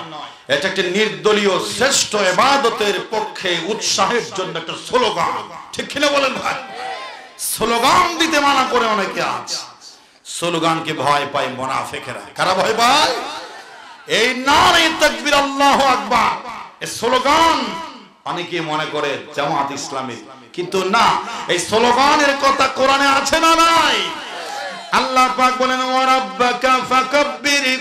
সূরা মুদ্দাসসির আল্লাহ পাক বলছেন, বান্দারে, তোমরা আমার নামের আমার নামের তাকবীর দাও, সর্বশক্তি দিয়ে বলেন সুবহানাল্লাহ। তাকবীর দিয়েছেন ওমর ইবনুল খাত্তাব রাদিয়াল্লাহু তাআলা। মুসলমান হয়ে বলছে, নবীজি, সংখ্যা কত মুসলমানের? বলছে, মাত্র চল্লিশের ভিতরে। হুজুর, তাদেরকে আমার পিছনে দেন। আমি আজ খানে কাবার চত্বরে উঠবো, তাকবির দিয়ে দিয়ে। মুসলমান যদি সত্য হয় আপনি যদি সত্য পয়গম্বর হয়ে থাকেন, গর্তের ভিতরে কেন নামাজ পড়বেন? আমরাই তো হক, আমরাই তো সত্য। সত্য কোনোদিন গর্তের ভিতরে থাকে না। জীবন জাগার থাক, যত মানুষ আছে, আপনি আমাকে দোয়া করে পেয়েছেন, দোয়া করেছেন। আমি উমর আপনার গোলাম হয়ে গেলাম। আমি কালিমা পড়ে মুসলমান হলাম। এতদিন ছিলেন একরকম। আজ উমর ইবনুল খাত্তাব মুসলমান হয়েছে। আজ থেকে পরের দিনের ডায়েরি হবে আরেক রকম। বলেন, সুবহানাল্লাহ। তাকবীর দিয়ে দিয়ে খাবার চত্বরে উঠে লিল্লাহি তাকবীর দিয়ে খানায় কাবার উপর উঠে যখন আজান দিতে শুরু করলেন, সব কাফের বেঈমানরা দরজা দিয়া দেখে, জানালা দিয়া, এত বড় বুকের ফাটাকা যে আমাদের খানায় কাবার উপরে উঠে আল্লাহর নামের তাকবীর দেয়, জানালার ফাঁক দিয়ে সকলে উকিয়ে দেয়, মেরে দেখে। আর ওমর ইবনুল খাত্তাব ভাষণ দেয়। যে তার সন্তানকে এতিম বানাতে চায়, স্বামীকে বিধবা বানাতে চায়, জীবনে আর বেঁচে থাকার স্বপ্ন যাদের নাই, তারা ঘর থেকে বের হয়ে আসো, ওমরের তাকবীরের বাধা প্রদান করো। তোমরা ভালো করে জানো, আমার জীবনের রেকর্ড এরকম, আমার একটা তরবারির আঘাত মিস হয় না। আল্লাহ বলেন। আমার তরবারি মিস করবে না। তাকবীর শুরু হয়েছে আজ থেকে। কিয়ামত পর্যন্ত তাকবীর চলবে। হারে কাবায় প্রথম তাকবীর আমি ওমরের দিলাম, খাত্তাবের বেটা দিলাম। সাহস থাকলে বাধা দান করো। আল্লাহু বলেন। সেই তাকবীর চলবে নাকি বন্ধ হবে? চলবে। নাকি বন্ধ হবে? যারা বলবে তাকবীর চলবে না তাদের জানাজাও হবে না। কি হবে না? কারণ তাকবীরের প্রথমে কি লাগবে? জানাজার প্রথমে কি লাগবে? আল্লাহু আমরা বলব তুই সারা জীবন তাকবীরের বিরুদ্ধে ছিলি। আল্লাহ আকবর চলেই তার গায়ে চলকানি উঠে যেত। আজকে আল্লাহ আকবর মানে বিনা জানাজায় কুত্তার মতো গর্তে কেটে দেয়। ঠিক কিনা বলেন না? যারা বলবে জানাজার মধ্যে আপনার তকবীর নাই, এদের জানাজাও হবে না, বিনা জানাজায় দাফন হবে। আল্লাহ সবাইকে বোঝার তৌফিক দান করুক, আল্লাহ আমরা আমিন আমিন। আমরা আর বা বলে আল্লাহ আমিন। বলেছিলাম, আল্লাহ পাকের হুকুম হাকামকে মেনে নিতে হবে। আল্লাহ পাকের শ্রেষ্ঠ গোলামি হলো নামাজ। আল্লাহ নবী বলছেন, যতই তোমরা দাবি করো, আমি মুসলমান, ইমানদার স্পষ্ট নবীজির ভাষা, লা সাহামা ফিল ইসলাম। ইসলামে তার কোনো অধিকার নাই, অংশ নাই। লিমান লাহু যার জীবনে দৈনন্দিন পাঁচক্ত নামাজ নাই। ইসলামে তার কোনো অংশ নাই। ইসলামে তার কোনো অংশ নাই বলেন নাউজুবিল্লাহ। আল্লাহ পাক রব্বুল আলামিন হাবিব আরও বলেছেন, লা ঈমানা লিমান লা সালাতা লাহু। যার জীবনে নামাজ নাই, তার জীবনে ইমান যার তার জীবনে ইমান নাই, যার জীবনে নামাজ নাই। সুতরাং ইমানদার দাবি করতে হলে আপনাকে আগে কি লাগবে? আগে কি লাগবে? আগে নামাজ পড়া কিছু এরপর আল্লাহ পাকের হুকুম, হাকাম, বিধিবিধানের কথা আসতেছে। এখন যদি আপনি বলেন, ইলিশ সড়ক বড় সুস্বাদু মাছ কিন্তু ইলিশ মাছ যখন বেগুন দিয়ে রান্না হয়, মজা আরও বেড়ে যায় নাকি কমে যায়? বেড়ে যায়। ঝোল যেমন মজা, মাছ আরও মজা, বেগুন আরও মজা। কিন্তু ডাক্তাররা লিখে দেয় অ্যালার্জি রোগী যারা দয়া করে ইলিশ এবং বেগুন খাবেন না তারা। ঠিক না যদি অ্যালার্জি রোগী, আপনি ইলিশ মাছ এবং বেগুন খান, চুলকানি বাড়বে নাকি কমবে? বাড়বে নাকি কমবে? এমন অবস্থায় চলে যাবে। রোগ বাড়তে বাড়তে যে বেগুন দেখলেই চুলকাবে, ইলিশ মাছ দেখলেই কি? চুলকানি শুরু হয়ে যাবে। অ্যালার্জি রোগে আক্রান্ত মানুষ যেমন ইলিশ আর বেগুন দেখলে চলকায়। যারা কলবের মধ্যে অ্যালার্জি রোগ হয়েছে, এরা মাহফিল, কোরআনের তাফসীর মাহফিল, ইসলাম দেখলেই তাদের চুলকানি বেড়ে যায়। ঠিক বলেন ভাই? চুলকাইতে তার। চুলকায়া চুলকায়া পানি বের কর। পানির পর রক্ত বের কর। রক্ত বের করার পরে নাচতে তা পাগল হয়ে যা। ইসলাম এবং কোরআন চলবে নিজস্ব গতিতে। ঠিক কিনা বলেন হ্যাঁ খুদা বাকি যাব তক, ইসলাম কি শান বাকি হ্যাঁ খুদা বাকি যাব তক इस्लाम की शान बाकी है अभी इस्लाम जिंदा है अभी कुरान बाकी है जो बोलें सुबह আল্লাহ পাকের হুকুম আকাম এটা মেনে নিলে একজন মুসলমান সত্যিকারের মুসলমান হয় আল্লাহর প্রতি ইমানটা পাকাভুক্ত হয় শুধু আল্লাহ পাক বলছেন এই চারটি বিষয়ে কথা বলবো না প্রথমে বলেছি আল্লাহ পাকের অস্তিত্ব কার অস্তিত্ব আল্লাহ পাকের অস্তিত্ব আছে না নাই আল্লাহর নবী যখন এসেছিলেন আল্লাহ পাকের দাওয়াত দিচ্ছিলেন قولوا لا إله إلا الله يا قوم اعبدوا الله ما لكم من إله غيره এই আমার সম্প্রদায় তোমরা সব কিছু বাদ দিয়ে এক ইলাহের, এক আল্লাহর গোলামি করো। তখন কাফেররা বলে, এই সময় কিছু ছিল, নাসারা কিছু ছিল আপনার ইহুদি। এক একজন এক এক কারণে গোমরাম আল্লাহর প্রতি তাদের আস্থা ছিল আস্তিক ছিল সবাই। আল্লাহর প্রতি বিশ্বাস তাদের ছিল। তবে ব্যারাম ছিল একটা একটা, যার কারণে সবাই মুশরিক। সূরা তাওবার 30 নম্বরে আয়াতে আল্লাহ পাক বলেন, ইহুদিদের আচরণ ছিল আল্লাহর ব্যাপারে?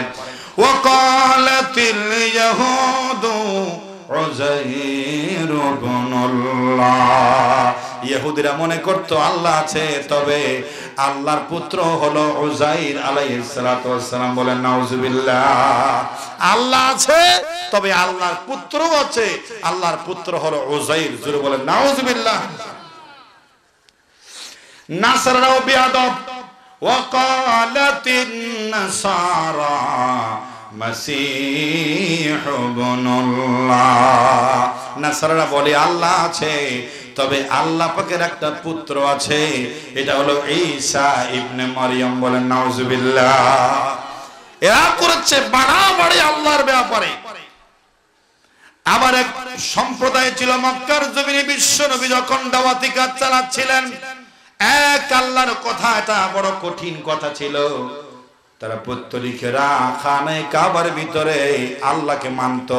তবে আল্লাহর সহযোগী, আল্লাহর হেল্পার বোঝানোর জন্য বিভিন্ন ডিপার্টমেন্টের চেয়ারম্যান বানিয়ে রেখেছিল। খানে কাবার ঘরের ভিতরে একটা, দুইটা নয়, তিনশো ষাটটা ভণ্ড হুদা। ঠিক না বলেন? ভণ্ড হুদা বানাইছে এবং ওরা মনে করতো এটা আমাদের রিজিক দানে রিজিক দেবে, ওটা আমাদের ভাগ্য পরিবর্তন করবে, ওটা এই করবে, সেই করবে, বিভিন্ন নিজের থেকে তারা বানিয়ে ফেলেছিল।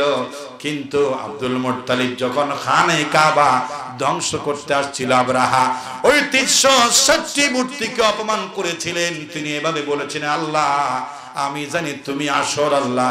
এই খানে কাবার মূর্তি যেগুলো আছে, সবগুলো হলো ব্যর্থ খোদা। এগুলোর কাছে আমি সাহায্য চাই না। এটা তোমার ঘর। আব্রাহাম ষাট হাজারের হস্তি বাহিনী নিয়ে তোমার ঘরকে ভাঙার জন্য আসে। আমরা আমার ঘরটা হেফাজত রেখে গুহাই চলে যাচ্ছি। তোমার ঘর তুমি হেফাজত করবা।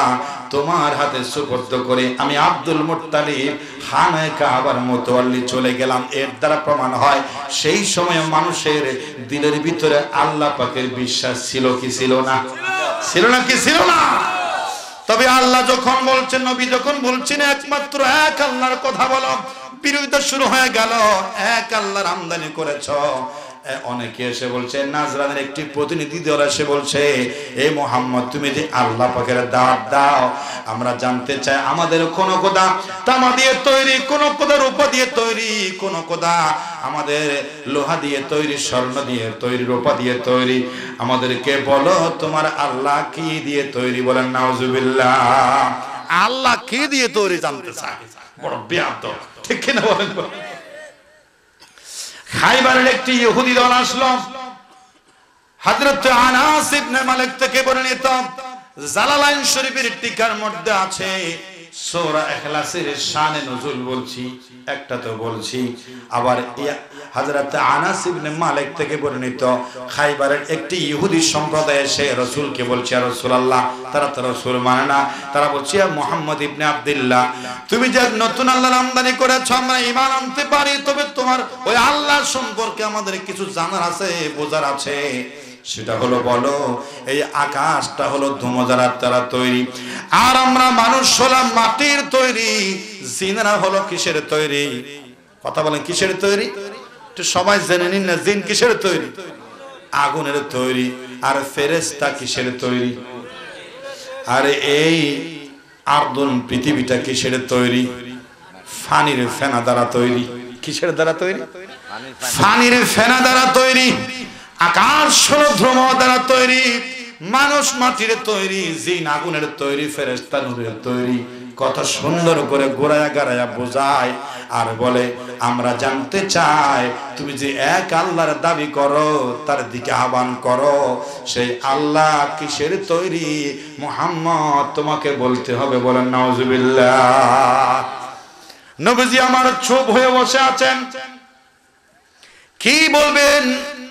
এরপর আরেকটা প্রতিনিধি দল এসে বলছে, আমাদের আল্লাহর তো বংশনামা আছে, সন্তান আছে, স্বামী আছে, স্ত্রী আছে, বংশনামা, বংশ তালিকা আছে। মোহাম্মদ, নতুন এক আল্লাহর আমদানি তুমি করেছ। সেই আল্লাহর বংশের তালিকাটা বলো, আল্লাহ আগে কি ছিল? আল্লাহ কার সন্তান? আল্লাহর সন্তানকে। আল্লাহর স্বামী, স্ত্রীকে। আল্লাহর সম্পর্কে এই নসব নামা জানতে চাই বলেন, নাউজুবিল্লাহ। আর ওজন বলেন, নাউজুবিল্লাহ। এগুলোর সাথে কি আল্লাহর কোন সম্পর্ক আছে? আল্লাহ পাক বলছেন, নবীজি, আপনার থেকে প্রশ্ন করে আপনি জানিয়ে দিন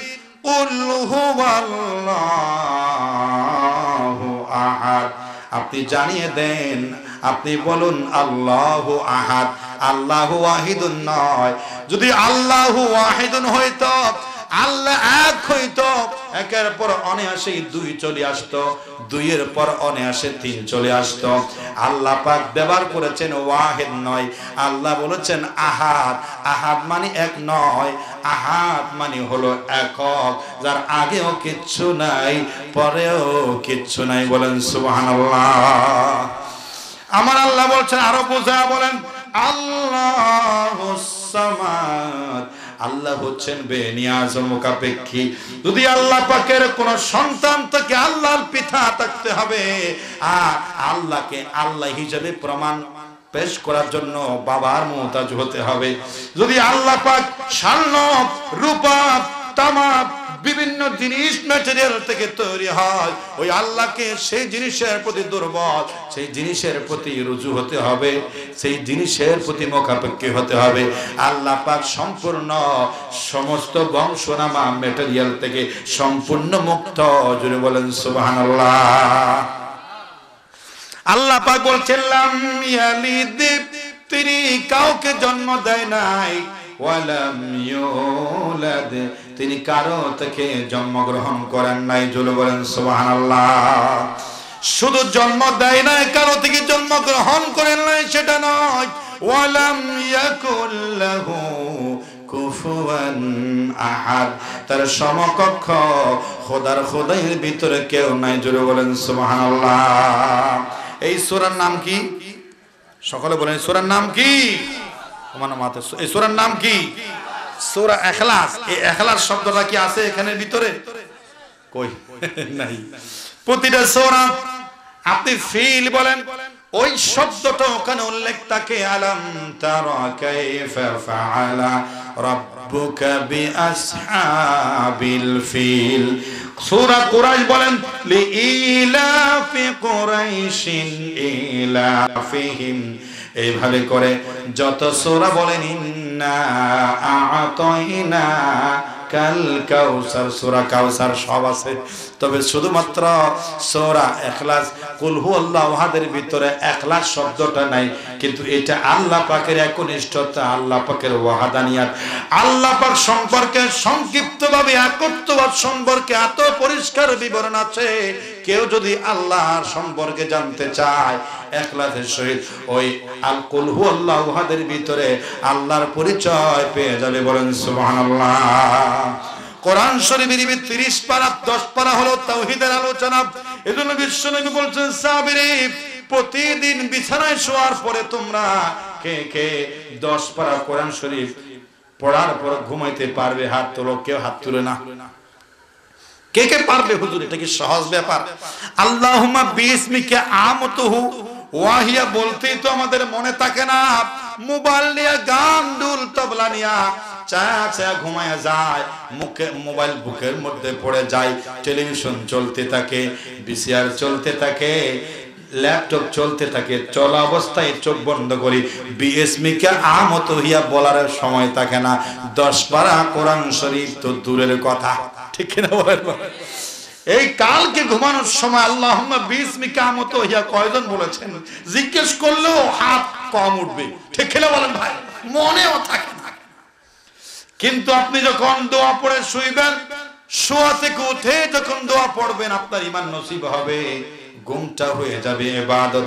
আপনি ঘুমিয়েছেন, কিন্তু ফেরেশতারা লিখেছেন এবাদত, বলেন সুবহানাল্লাহ। কেন আবাদত যে তুমি নবীর তরিকায় ঘুমিয়েছ, নবীর তরিকায় ঘুম থেকে উঠেছ, তুমি ঘুমায়েছ কিন্তু ফেরেশতারা লিখবে, তুমি ইবাদতে লিখতে আছো। যদি বলেন সুবহানাল্লাহ। মোবাইল দেখতে দেখতে, গান গাইতে গাইতে, গল্প করতে করতে ঘুমালা। শুধুমাত্র ওই ঘুমটা ঘুম হয়ে গেল। আর যদি আল্লাহর সুন্নাত, রাসূলের সুন্নত তরিকায় ঘুমান, তাহলে ঘুমালে না, আর এবাদত খাতার মধ্যে উঠে গেল বলেন সুবহানাল্লাহ। দোয়া পড়তে রাজি আছেন তো? সকলে বলেন, ইনশাআল্লাহ। নবীজি বলতে দশ পারা কোরআন শরীফ পড়িয়ে ঘুমাইতে পারবে কে কে বলো? কেউ হাত তুলে না। এটা তো সহজ নয়। দশ পারা কোরআন শরীফ তো অনেক লম্বা জিনিস আপনি যদি বলতেন সপ্তাহে দুই দিন বা একদিন পারতাম, প্রতিদিন কেমনে পড়ব? নবীজি মুস্কি হেসে বললেন, এই টেকনিকে বললেন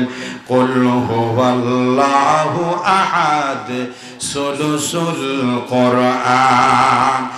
হুয়াল্লাহু আহাদ কোরআনের তিন ভাগের এক অংশ, এ কুল হুয়াল্লাহু আহাদ যারাই পড়বে, তার আমল নামায় 10 পারা কোরআন শরীফ পড়ার সওয়াব উঠে যাবে বলেন, সুবহানাল্লাহ। বুখারী এবং মুসলিম শরীফে হাদিস আছে সই হাদিস, যদি একবার কুল হুয়াল্লাহু আহাদ পড়ো 10 পারা কোরআন শরীফের সওয়াব দুইবার পড়লে কয় পারা? কথা বলেন, কয় পারা? যদি তিনবার পড়েন কয় পারা? কথা বলেন, কয় পারা আর 20 পারা 30 পারা মানে কয় হতম। এক কথম কোরআন শরীফ।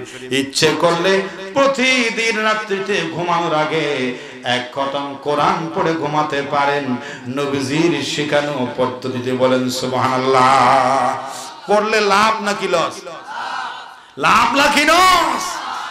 এই সূরা কুল হুয়াল্লাহু আহাদ বলে সকলে বোঝে এই সূরার ভিতরে 15টি চারটি আয়াত আছে 15টি বাক্য আছে, সাতচল্লিশটি হরফ আছে। কয়টি হরফ? সাতচল্লিশটি নবীজি বলছেন, কেউ যদি কোরআনের একটা হরফ তেলাওয়াত করে, দশ নাকি? কয় নাকি? আর চারশো সত্তরকে দশ দিয়া, আর সাতচল্লিশকে গুণ দিলে দশ দিয়া কত হবে? সাত, চারশো সত্তর। চারশো সত্তর জেনারেল হরফ হিসাবে। আর দশ পারা কোরআন শরীফের সোয়াব সোরা এখলাস আনসারি একজন ইমাম সাহেব, মসজিদে কোবার ইমাম সাহেব ছিলেন। কোন মসজিদে মসজিদে কোবার ইমাম সাহেব। সেই ইমাম সাহেব বলে, সোরা এহরাজকে বেশি ভালোবাসতো। আমাদের ভালোবাসা তো অনেক কিছু নিয়ে, কিন্তু এই ইমাম সাহেব ভালোবাসতো আল্লাহর কোরআনের একটি সোরা, তাওহীদের সোরা সোরা এখলাস বলেন সুবহানাল্লাহ। ভালোবাসা তার প্রমাণ? আমরা প্রতি রাকাতে সোরা ফাতিহা পড়ি। কি পড়ি? সোরা ফাতিহা পড়ি না? প্রতি রাকাতে 50 রাকাত নামাজ পড়বেন 50 বার সোরা ফাতিহা লাগবে। ঠিক কিনা বলেন ভাই? আনসারী সাহাবী সূরা ফাতিহা পড়ার পরে মসজিদের ইমাম সাহেব মাগরিব, এশা, ফজর তো বড় আওয়াজে কেরাত পড়ে। সূরা ফাতিহার পড়ে প্রতি রাকাতে কুল হুয়াল্লাহু আহাদ পড়ে। তারপরে অন্য একটি সূরা পড়ে সিজদায় যায় রুকুতে যায় জোরে বলেন, সুবহানাল্লাহ। মুসল্লিরা দিয়েছে অভিযোগ, হুজুর, দুনিয়া চলে একরকম আপনি চলেন আরেক রকম। পড়ার কথা আছে পড়ার তো কথা নাই। আপনি সূরা ফাতিহার পরে ইখলাস প্রতি রাকাতে পড়েন, শুধু পড়েন না, এরপরে আরেকটা সূরা লাগান এর দ্বারা কি বুঝে আপনার কি প্রমাণ হয়? সুরা ইখলাস, এটা কি নামাজ শুদ্ধ হওয়ার জন্য যথেষ্ট নয়? আবার একটা সুরা লাগবে। আর একটা সূরা লাগবে, পড়তে ইচ্ছে হয় সূরা ইখলাস না পড়লে তো হয়। এটা আমাদের খারাপ লাগে। দেখতে বেশি লাগে। দুনিয়া চলে একরকম, আপনি চলেন আরেক রকম। মুসল্লির অভিযোগ। ইমাম সাহেবের বিরুদ্ধে অভিযোগ আছে না আছে না নাই? যার নাই, কোনো গতি সে করে ইমামতি। আর বাজারের মধ্যে বলে, এই সরকার আসার পরে সব জিনিসের দাম বেড়ে গেছে। হো হো করে সব মানুষের নাগালের বাইরে ভদ্রলোক বলছে, কথা আসতে বল এই সরকার আসার পরে অনেক জিনিসের দাম একদম সস্তা হয়ে গেছে। বলে, এমন জিনিসও আছে? বলে, কোন জিনিসটা সস্তা হয়ে গেছে সরকার আসার পরে? বলে, ইমামতির চাকরি আর মুয়াজ্জিনের চাকরি একদম সস্তা। ঠিক কিনা বলেন? ইমাম সাহেব আর মুয়াজ্জিন সাহেব একদম সস্তা। হাতের নাগালেই ইমাম সাহেব এবং মুয়াজ্জিনের চাকরি খুব সস্তা। আরও বলে, হুজুর, আপনাদের ইমামতির চাকরির বেতন এগুলো বরকত আছে। আরে কিসের বরকত নিয়ে এগুলো টাকাকে রিয়াল হয়? টাকাকে রিয়াল হয়? এক টাকা দিলে কি পাঁচ টাকা হয়? বরকতের হিসাব তোমার করার দরকার নাই। একজন মানুষ সুস্থভাবে ইজ্জতের সাথে চলার জন্য যা টাকা দরকার, রিজিক দরকার, যা বেতন দরকার, এলাকার সব মানুষকে মিলে কমপক্ষে একজন ইমাম সাহেবের বেতন দশ হাজার হওয়া উচিত। ঠিক কিনা বলেন ভাই? কম পক্ষে একটা পিয়া একটা মেথর, একটা দারোয়ান, একটা নাইট সবচেয়ে নিকৃষ্ট পদের মানুষের বেতন দশ উপরে। আর ইমাম সাহেবের বেতন কেন দশের নিচে হবে? ঠিক কিনা বলেন ভাই? একদম সস্তা। এজন্য অনেকে বলে, হুজুর আমি আমার ছেলেকে আর যা বানাই, কিন্তু মৌলী সাহেব বানাইতে বানাই কেন? কেন মৌলী সাহেব বানাবেন যে আমার মসজিদের সাহেব বেতন হলো আড়াই হাজার। কত? আড়াই হাজার। আমার দোকানে যে আমি ভাত আনতে পাঠিয়েছি, আমার দোকানে চা নে আর ভাত রান্না করে, এই করে, সেই করে, সব কাজ যে একদম করে, তার বেতন আট হাজার, দশ হাজার টাকা। আর ইমাম সাহেবের বেতন আড়াই হাজার। এই ইমামতির গুলি মারি যদি বলেন, নাউজুবিল্লাহ ইমাম আজ বের হচ্ছে না। যোগ্য সম্মত কোয়ালিটি সম্পন্ন ইমাম মুয়াজ্জিন সমাজ থেকে হারিয়ে যাচ্ছে। এর জন্য আমরা সমাজপতিরা, এলাকার মানুষেরা, কমিটি সেক্রেটারি সভাপতি দায়ী। ঠিক কিনা বলেন ভাই? কষ্ট পেয়েছেন না? কষ্ট পেয়েছেন? ইমাম সাহেবের পিছনে একচেদা করেন। সে ইমাম সাহেব অভাবে থাকবে। সুবাহান রাব্বিয়াল আলা বলার সময় চিন্তা করবে। গড়ে তো কিছু নেই, টাকাও তো নাই। এই চিন্তা কেন ইমাম সাহেব করবে? আল্লাহ পাক সমাজের মানুষগুলোকে বোঝার তৌফিক দান করুক, আমরা বলি আমিন। এই যে আজকে ভিডিও হচ্ছে, আল আমিন ইসলামিক মিডিয়া, এই কথা লিখলে আপনারা নিজেরা এক মাস পরে আপনাদের চেহারা, এই মাহফিল আপনারা দেখতে পারবেন। ইউটিউব চ্যানেলে চলে যাবে আল আমিন ইসলামিক মিডিয়া এই আলোচনা গোটা বিশ্বের মধ্যে দেখতে পাবে, যারাই চাষ করবে। চাষ না করলে অনেক সময় এটা চলে আসবে, বিষয়ের উপরে। মানুষ শুনবে কেমন পর্যন্ত মানুষ দেখবে, আপনাদের এখানে কয়জন মানুষ আছে? আপনার আত্মীয় স্বজন পাড়া প্রতিবেশী, প্রবাসী ভাই, দেখতে পারবে, পরিচিত, অপরিচিত দেখবে, তারা সকলে যেন তাদের মাথার মধ্যে একটু হলো চিন্তা করে বোঝ আসে। এই মানুষগুলোর মধ্যে সভাপতি থাকতে পারে সেক্রেটারি থাকতে পারে, মসজিদ কমিটির সদস্য থাকতে পারে। যদি একটু দরদ হয়, একটু ভালোবাসা আছে, ইমাম মহাজনের প্রতি, তাহলে এই মাহফিল শর্ত। ঠিক কিনা বলেন ভাই? একজন মানুষ চিন্তা করলে, একজন ইমাম সাহেবের বেতন যদি বেড়ে যায়, আজীবন দোয়া করবে যার ছিল হয়েছে, আল্লাহ তুমি তাকে দয়া করো। ঠিক কিনা বলেন বলেছিলাম আল্লাহ পাকের অস্তিত্ব এরপরে আবু হুরায়রা বর্ণনা করেন, একজন সাহাবীকে সূরা ইখলাসের ফজিলত বলতেছি আপনাদেরকে, ও আজ শুধু শুনেন বাড়িতে, খালি চলে যান। আজ সূরা ইখলাসটা বাড়িতে নিয়ে যাবেন। ওই ইমাম সাহেব সূরা ইখলাস বারবার পড়ে। তারা যখন মুসল্লি অভিযোগ দিয়েছে, ইমাম সাহেব বলে, আপনাদের যদি আমাদেরকে ভালো না লাগে, আমাকে চাকরি থেকে বরখাস্ত করেন। আমি আপনাদের চাকরি ছাড়তে পারব। আপনাদের ইমামতি সাগরে থাকতে পারব, তবে আমি প্রতি রাখাতে কলহু আল্লাহ আহা ছাড়তে পারব না। বলেন সুবহানাল্লাহ। মুসল্লি দেখে, এই ইমাম সাহেব তো সলিত কঞ্চের অধিকারী, তাকওয়াবান, পরহেজগার মানুষ সমাজে নাই। সুতরাং তার প্রতি মানুষের অগাধ বিশ্বাস। যাই হোক, একটা অপছন্দনীয় জিনিস হলেও তাকে ইমাম সাহেব থেকে বরখাস্ত করলে আমাদের ভালো লাগতেছে না, রেখে গেছে। একদিন রসুলের সাথে দেখা হয়েছে। মুসল্লিরা অভিযোগ দিয়েছে, হুজুর, আপনাকে যখন সামনে পেয়েছি, আমাদের ইমাম সাহেবের ব্যাপারে আপনার একটা আপনার ব্যাপারে, আপনার কাছে একটা অভিযোগ আছে। আমাদের ইমাম সাহেব প্রতি রাখাতে সুরা খালাস পড়ে, হুজুর। এটা আমাদের খারাপ লাগে না। ওনাকে বলছি, উনি বলছে, আমরা চাকরি দিতে পারব ছেড়ে দিতে পারব কিন্তু সোরা খেলা ছাড়তে আপনাদের খারাপ লাগতেছে। কার কথা হচ্ছে? আল্লাহর কথা। আর আল্লাহর পরিচয় সবচেয়ে সুন্দরভাবে, সংক্ষিপ্তভাবে এসেছে এই সূরা ইখলাসের ভিতরে। এজন্য কোরআন শরীফের 30 পারার 10 পারা হলো তাওহীদের আলোচনা। এজন্য সূরা ইখলাসে তাওহীদের কথা আছে।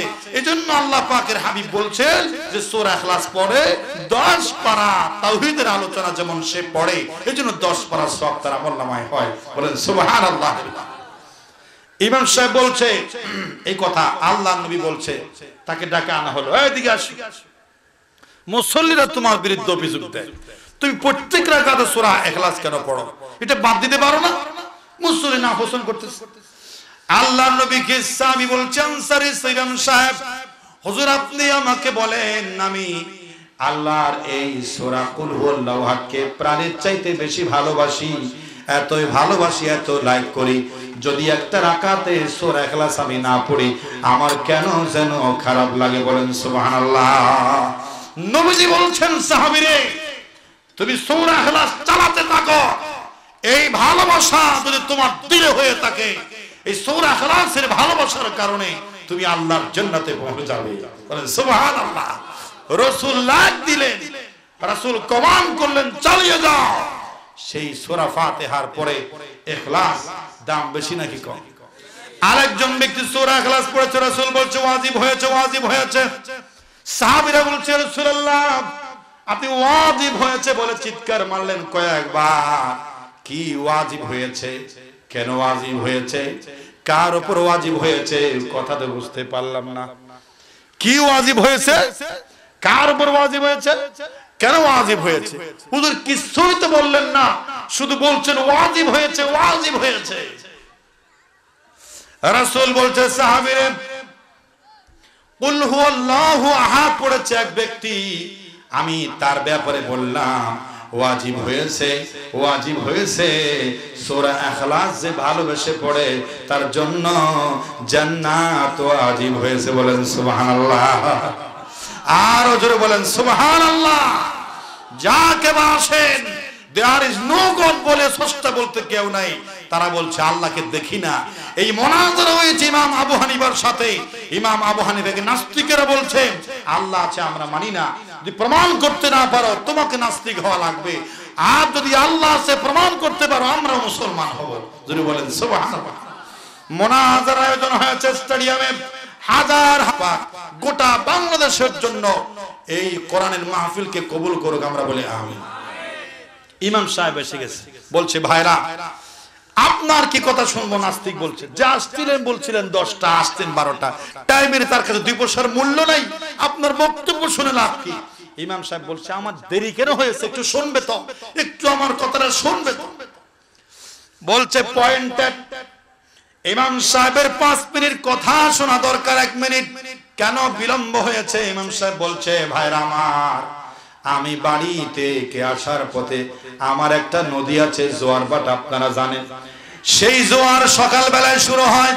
বাঁশখালীতে যেমন বাংলা বাজারের একটা পাশে নদী আছে না নাই? জোয়ার বাট আছে এটা না? জোয়ার বাট আছে। আমি যখন সকাল বেলা আসছিলাম, জোয়ার ছিল। জোয়ারে নদী, পুরা পানি। আমি তমকে দাঁড়িয়ে গেলাম আশেপাশে, কোনো নৌকা নাই। আহারে আমাকে তো নাস্তিকদের সাথে, আপনাদের সাথে মোকাবেলা আছে, মোনাজার আছে, আল্লাহর অস্তিত্ব নিয়ে আমি কেমনে পার হব? চিন্তায় পড়ে গেলাম।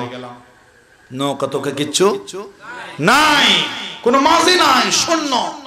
আমি চিন্তা করতেছিলাম, হঠাৎ করে দেখলাম নদীর উপর থেকে একটা গাছ বেশি আসতেছে।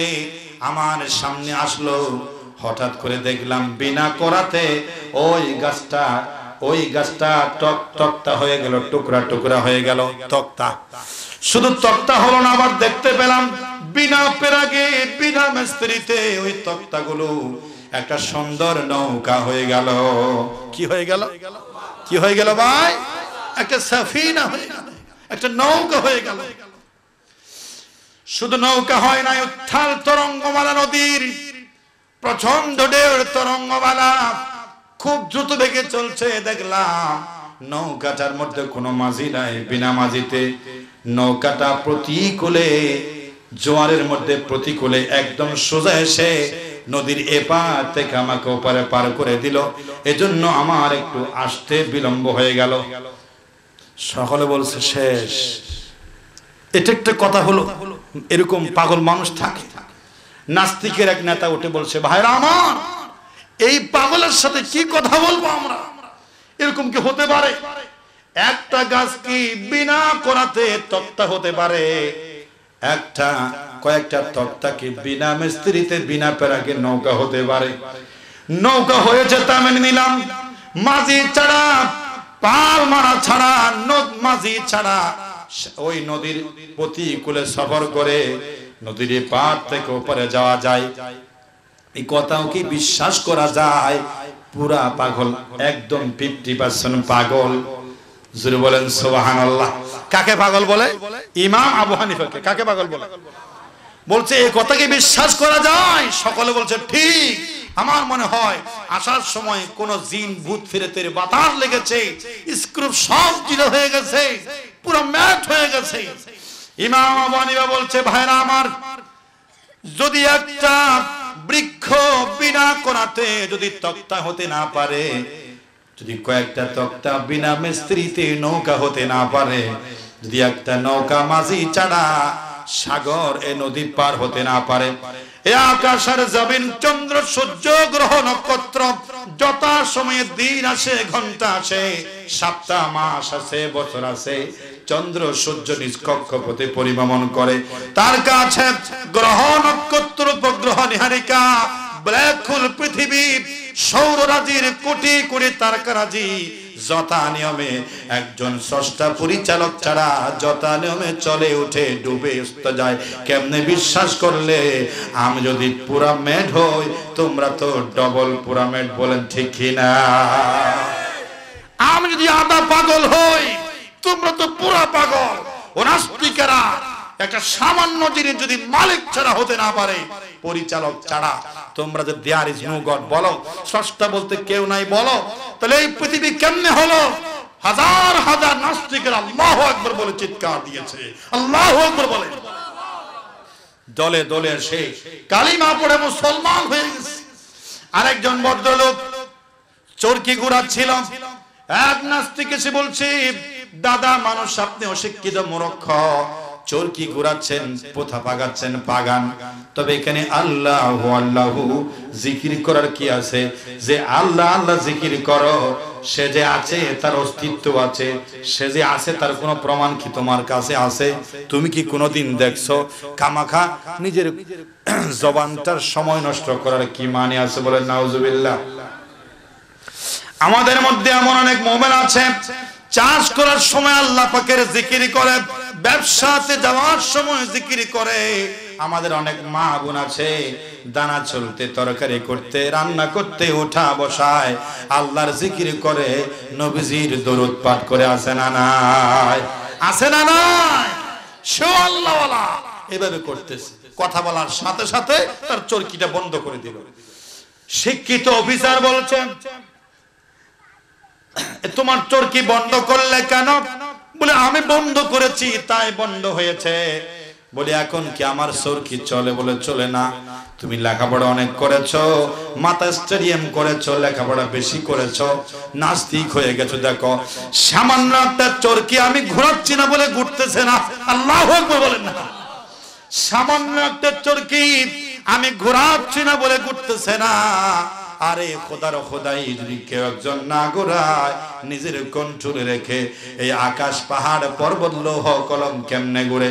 কোরআনে আছে না? কোরআনে আল্লাহ পাক বলছেন ওয়াশামসু তাজরি লিমুস্তাকাররিল লাহা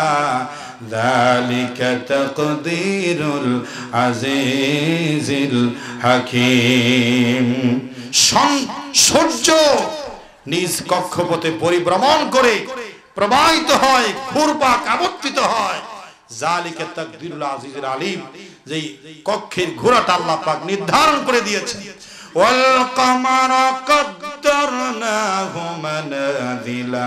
আল্লাহ পাক বলছেন এই চন্দ্রের জন্য আমি কোথায় কখন যাবে, কি যাবে, সব ঠিক করে রেখেছি। বিজ্ঞানীরা বলেন, আমার হুকুম লঙ্ঘন করে যদি চন্দ্র এক বিগত নিচের দিকে আসে, জমিনটা বাষ্প হয়ে পানিতে উঠে যাবে, বন্যা হয়ে যাবে।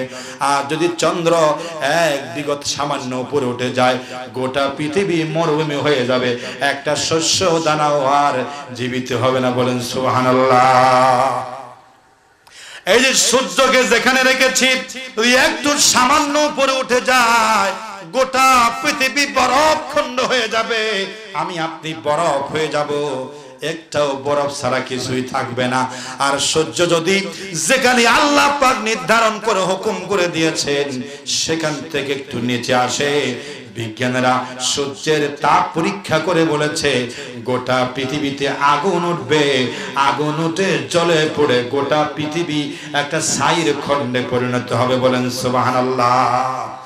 যথা নিয়মে, যথা সময়ে আমার হুকুম তামিল করছে গোটা বিশ্বব্যাপী। এই আল্লাহ পাক আছে না নাই? আল্লাহ আছে না নাই? একজন সামান্য কৃষকের কাছে জিজ্ঞেস করা হলো, আল্লাহর অস্তিত্বের ব্যাপারে তোমার কোনো জ্ঞান আছে কিনা? তুমি কি বলো? একজন সামান্য কৃষক বলে, যদি ছাগলের ছোট ছোট লাদি দেখে বোঝা যায়, এই পথ দিয়ে একটা ছাগল গেছিল। ঠিক কিনা ছাগলের লাদি আছে না? পায়খানা? ওই পায়খানা যখন কেউ দেখে ছোট্ট ছেলে বুঝতে পারে, এই পথ দিয়ে একটা ছাগল গেছে। আর কেউ যদি দূর থেকে ধোঁয়া দেখে, যে কেউ বলতে পারে, ওই গ্রামের নিচে নিশ্চয় কোন ঘরে আগুন লেগেছে। ঠিক কিনা বলেন? ভাই ধোঁয়া দেখে যদি আগুনকে পরিষ্কার বোঝা যায়, ছাগলের ছোট্ট ছোট্ট পায়খানার লাদি দেখে যদি ছাগলকে মানুষ বুঝতে পারে ছাগলে পথ দিয়া গেছে। এই আকাশ, এই জমিন, এই পাহাড় পর্বত লৌহ কলম দেখে কেন বুঝতে পারব না? এই খোদার খোদাইতে একজন আল্লাহ পরিচালক আছে বলেন সুবহান আল্লাহ বিশ্বাস আছে না নাই? কাদের কুদরত দারি বর কামাল আল্লাহ বলছেন আল্লাহর ব্যাপারে তোমাদের কি আল্লাহর ব্যাপারে সন্দেহ আছে? যিনি আকাশ সমূহ জমিন সৃষ্টি করেছেন, এই আকাশ এবং জমিনের সৃষ্টিকর্তা আল্লাহ। এই ব্যাপারে কি তোমাদের সন্দেহ আছে নাকি? কে বলছেন? আল্লাহ। কে বলছেন? সূরা ইব্রাহিম 10 নম্বরে আল্লাহ পাক বলেছেন ক্বালাত রুসুলুহুম আফিল্লাহি শাক্কুন ফাতিরিস সামাওয়াতি ওয়াল আরদ। তাদের রাসূল তাদেরকে বলছেন, আল্লাহ আছে, আল্লাহর অস্তিত্ব আছে। আল্লাহ আমাকে দেখছেন। এই বিশ্বাস কি তোমাদের আছে? সন্দেহ হয় যে আল্লাহ সৃষ্টি করেছেন আকাশ এবং জমিন। আল্লাহ পাক বলছেন, তাকিয়ে দেখো।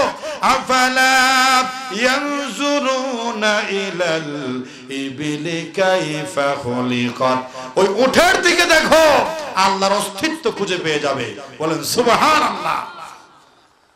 উটকে আল্লাহ পাক দুনিয়ার সব সৃষ্টি থেকে প্রাণী থেকে আলাদা করে বানিয়েছেন। ওটার যে কোয়ালিটি বৈশিষ্ট্য আছে, আপনারা অবাক হয়ে যাবেন, সেগুলো বলার সময় আজ বেশি আমার হাতে নেই। উট হচ্ছে অনুগত প্রাণী। একটা ইঁদুর যদি, একটা ইঁদুরের গলায় যদি উঠের রশিটা দেওয়া হয়, উঠের গলায় দিয়া ইঁদুরের একটু একটু টান যদি পায়, মনে করবি এটাই আমার নেতা। ইঁদুর হোক, সামচিকা হোক, সে তার অনুগত করে তার সামনের দিকে চলে যাবে। বলেন, সুবহানাল্লাহ। শুধু তাই নয়, উঠ হচ্ছে হাজার হাজার মাইল। বেগ দিয়ে চলার পর দিনের পর দিন সপ্তাহ পর সপ্তাহ। ওটার কোনো ক্লান্তি আসে না ওটার কোনো শ্রান্ত আসে না ওটার পেরেশান হয় না। শুধু তাই নয়, উটের ভিতরে এমন কোয়ালিটি আছে ওট হচ্ছে এমন প্রাণী যে প্রাণী একবার পানি খেয়ে দশ দিন পর্যন্ত থাকতে পারে, পানির পিপাসা লাগে না। শুধু তাই নয়, উঠের ভিতর আল্লাহ একটা ফ্রিজ দিয়েছেন, পেটের এক কোণে রেখে দেবে, পানি ভরে। যতদিন পর্যন্ত সেই ফ্রিজের বাক্স থেকে পানি বাহির করে নিজের স্থমাকে স্থলের মধ্যে, তার পেটের মধ্যে না আনবে, এক মাস, দুই মাস সব ফ্রিজের ভিতর পানি থেকে যাবে। ওই উঠের ভিতরে একটা স্পেশাল তৈলা আছে, তলে আছে, ওটা ঠান্ডা থাকে, ভালো থাকে, খারাপ হয় না।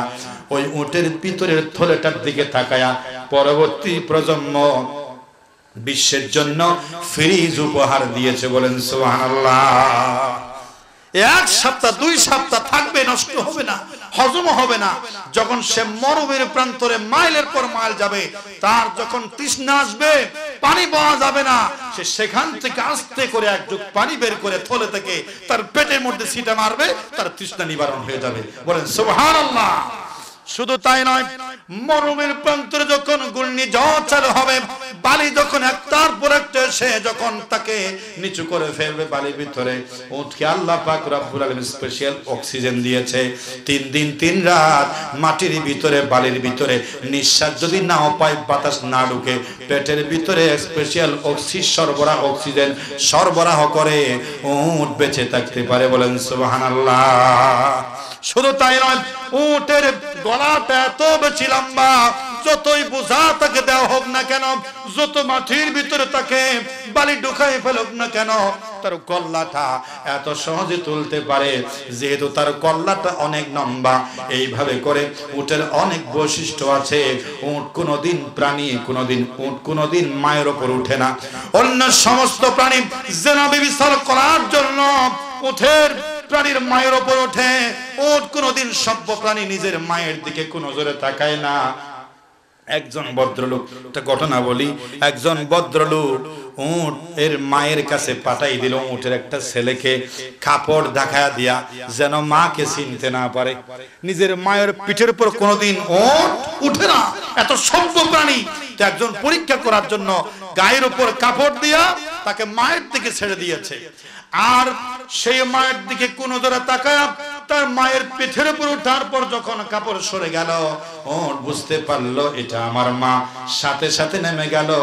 আর নেমে যাওয়ার পরে সে তার পুরুষাঙ্গ লজ্জায় ঘৃণায় তার সঙ্গে সঙ্গে তার পুরুষাঙ্গ ছিঁড়ে ফেলে দিল বলেন, সুবহানাল্লাহ। এত সভ্য পানি শুধু তাই নয়, যে ব্যক্তি তারে মায়ের কাপড়ের দিয়া মায়ের সঙ্গে বেয়াদবি করার জন্য পাঠিয়ে দিল, তার প্রতি আজীবন ঘৃণা লাগল।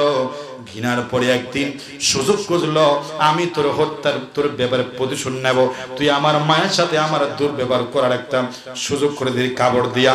তোর বেয়াদবির কারণে আমি আমার মায়ের সাথে বেয়াদবি করেছি, তোর আমি ছাড়বো না। সুযোগের অপেক্ষায় থাকল এই ঘটনার মধ্যে লিখেছে হায়াতুল হায়ানাত ঘটনায় কিতাবের মধ্যে ওই উটটা একদিন ওই ব্যক্তিটাকে মেরে ফেলেছে জাহান নামে পাঠিয়ে দিয়েছে বলেন সুবহানাল্লাহ। প্রতিশোধ নিয়েছে। তারপরও তার আফসোস, তার অনুশোচনা যায় না। নিজে আত্মহত্যা করে দুনিয়া থেকে বিদায় হয়েছে। যে উট তার মায়ের দিকে কোন নজরে তাকায় আছে, সে উটের বেঁচে থাকার অধিকার নাই। নিজে আত্মহত্যা করে সেই ভদ্র উট দুনিয়া থেকে বিদায় হয়ে গেছে। আল্লাহ আকবার। সেই উঠের সেই সভ্যতাবাদ মানব সভ্যতার কাছে নাই। ঠিক কিনা বলেন ভাই? এজন্য আল্লাহ পাক বলেন আর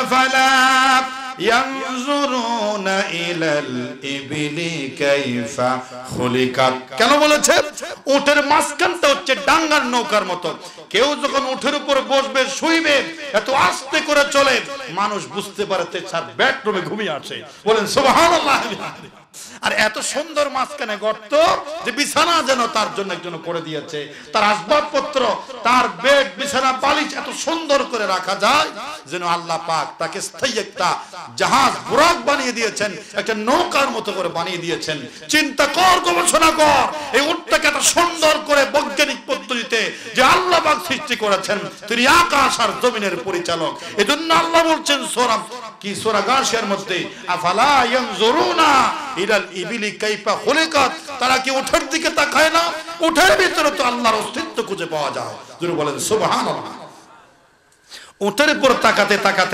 আকাশ বেশি পড়ে তোকের সামনে। সময় তো অনেক হয়ে গেছে, আমি আর পাঁচ মিনিটের ভিতরে আপনাদের থেকে বিদায় নিয়ে যাব। আমরা মনোজার দিকে যাব, ইনশাআল্লাহ। আমরা বলি, ইনশাআল্লাহ। আমি কথা বলছি শুরু শেষ কি সম্পর্কে? তাওহীদ সম্পর্কে। কি সম্পর্কে বলুন তো? একত্ববাদ সম্পর্কে।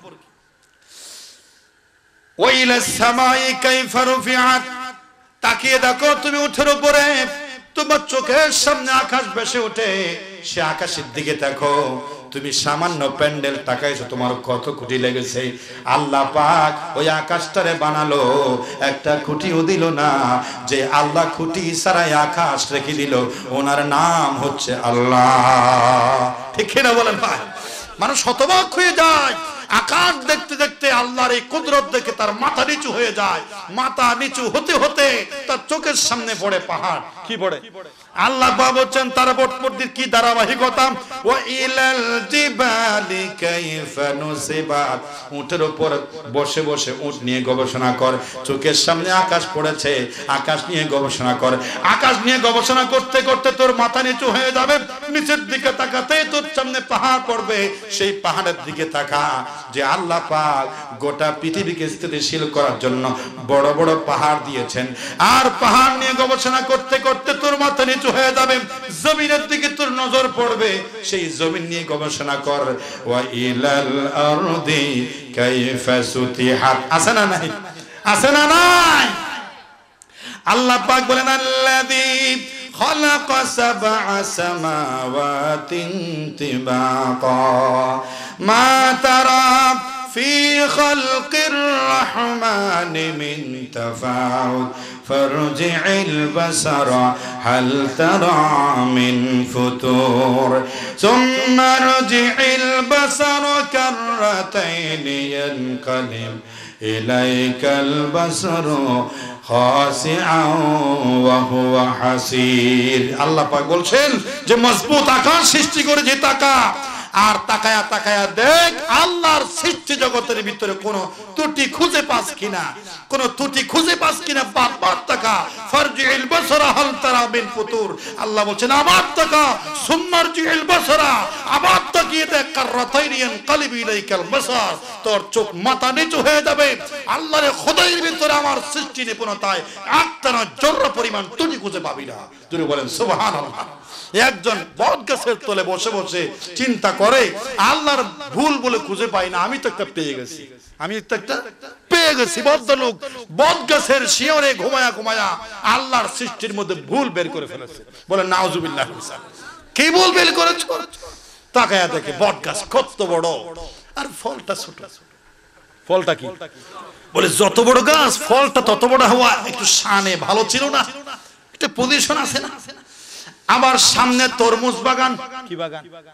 তরমুজ বাগান দেখে বলে ছোট্ট একটা গাছ লতা ছোট্ট একটা গাছ ছোট্ট ছেলেরাও ছিটতে পারে এরকম করে মেলা মারতে পারে।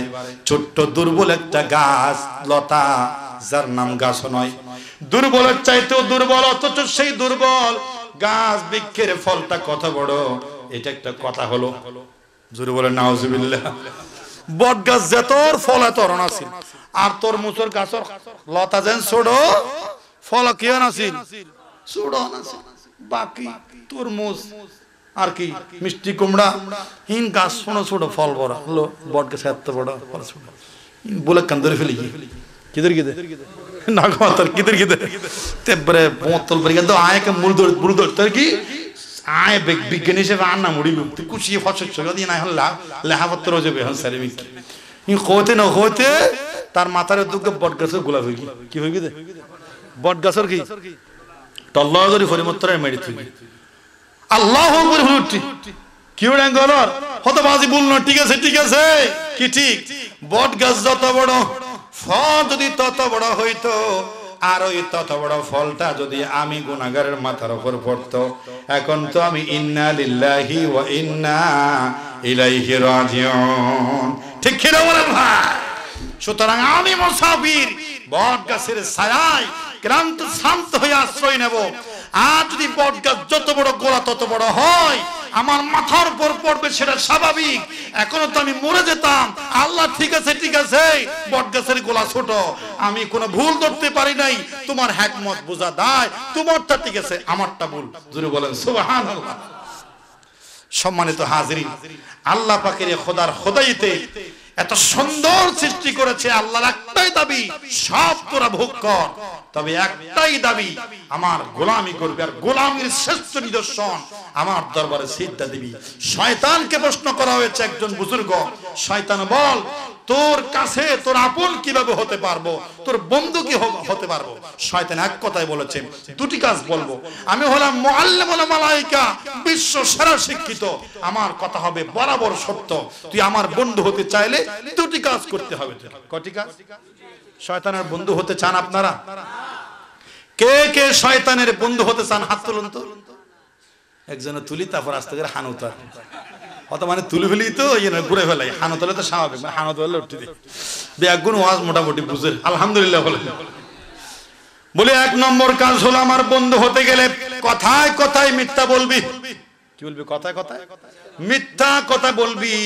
আর হলো নামাজটা ছেড়ে দিবি। এই দুই কাজটা যদি করতে পারস, তুই আমার আজীবন ফ্রেন্ডশিপ হয়ে যাবি। বলেন, নাউজুবিল্লাহ। তাহলে বেনামাজিরা কার বন্ধু? কথা বলেন, কার বন্ধু? আর ওজরে বেনামাজি, কার বন্ধু? আর কার শত্রু?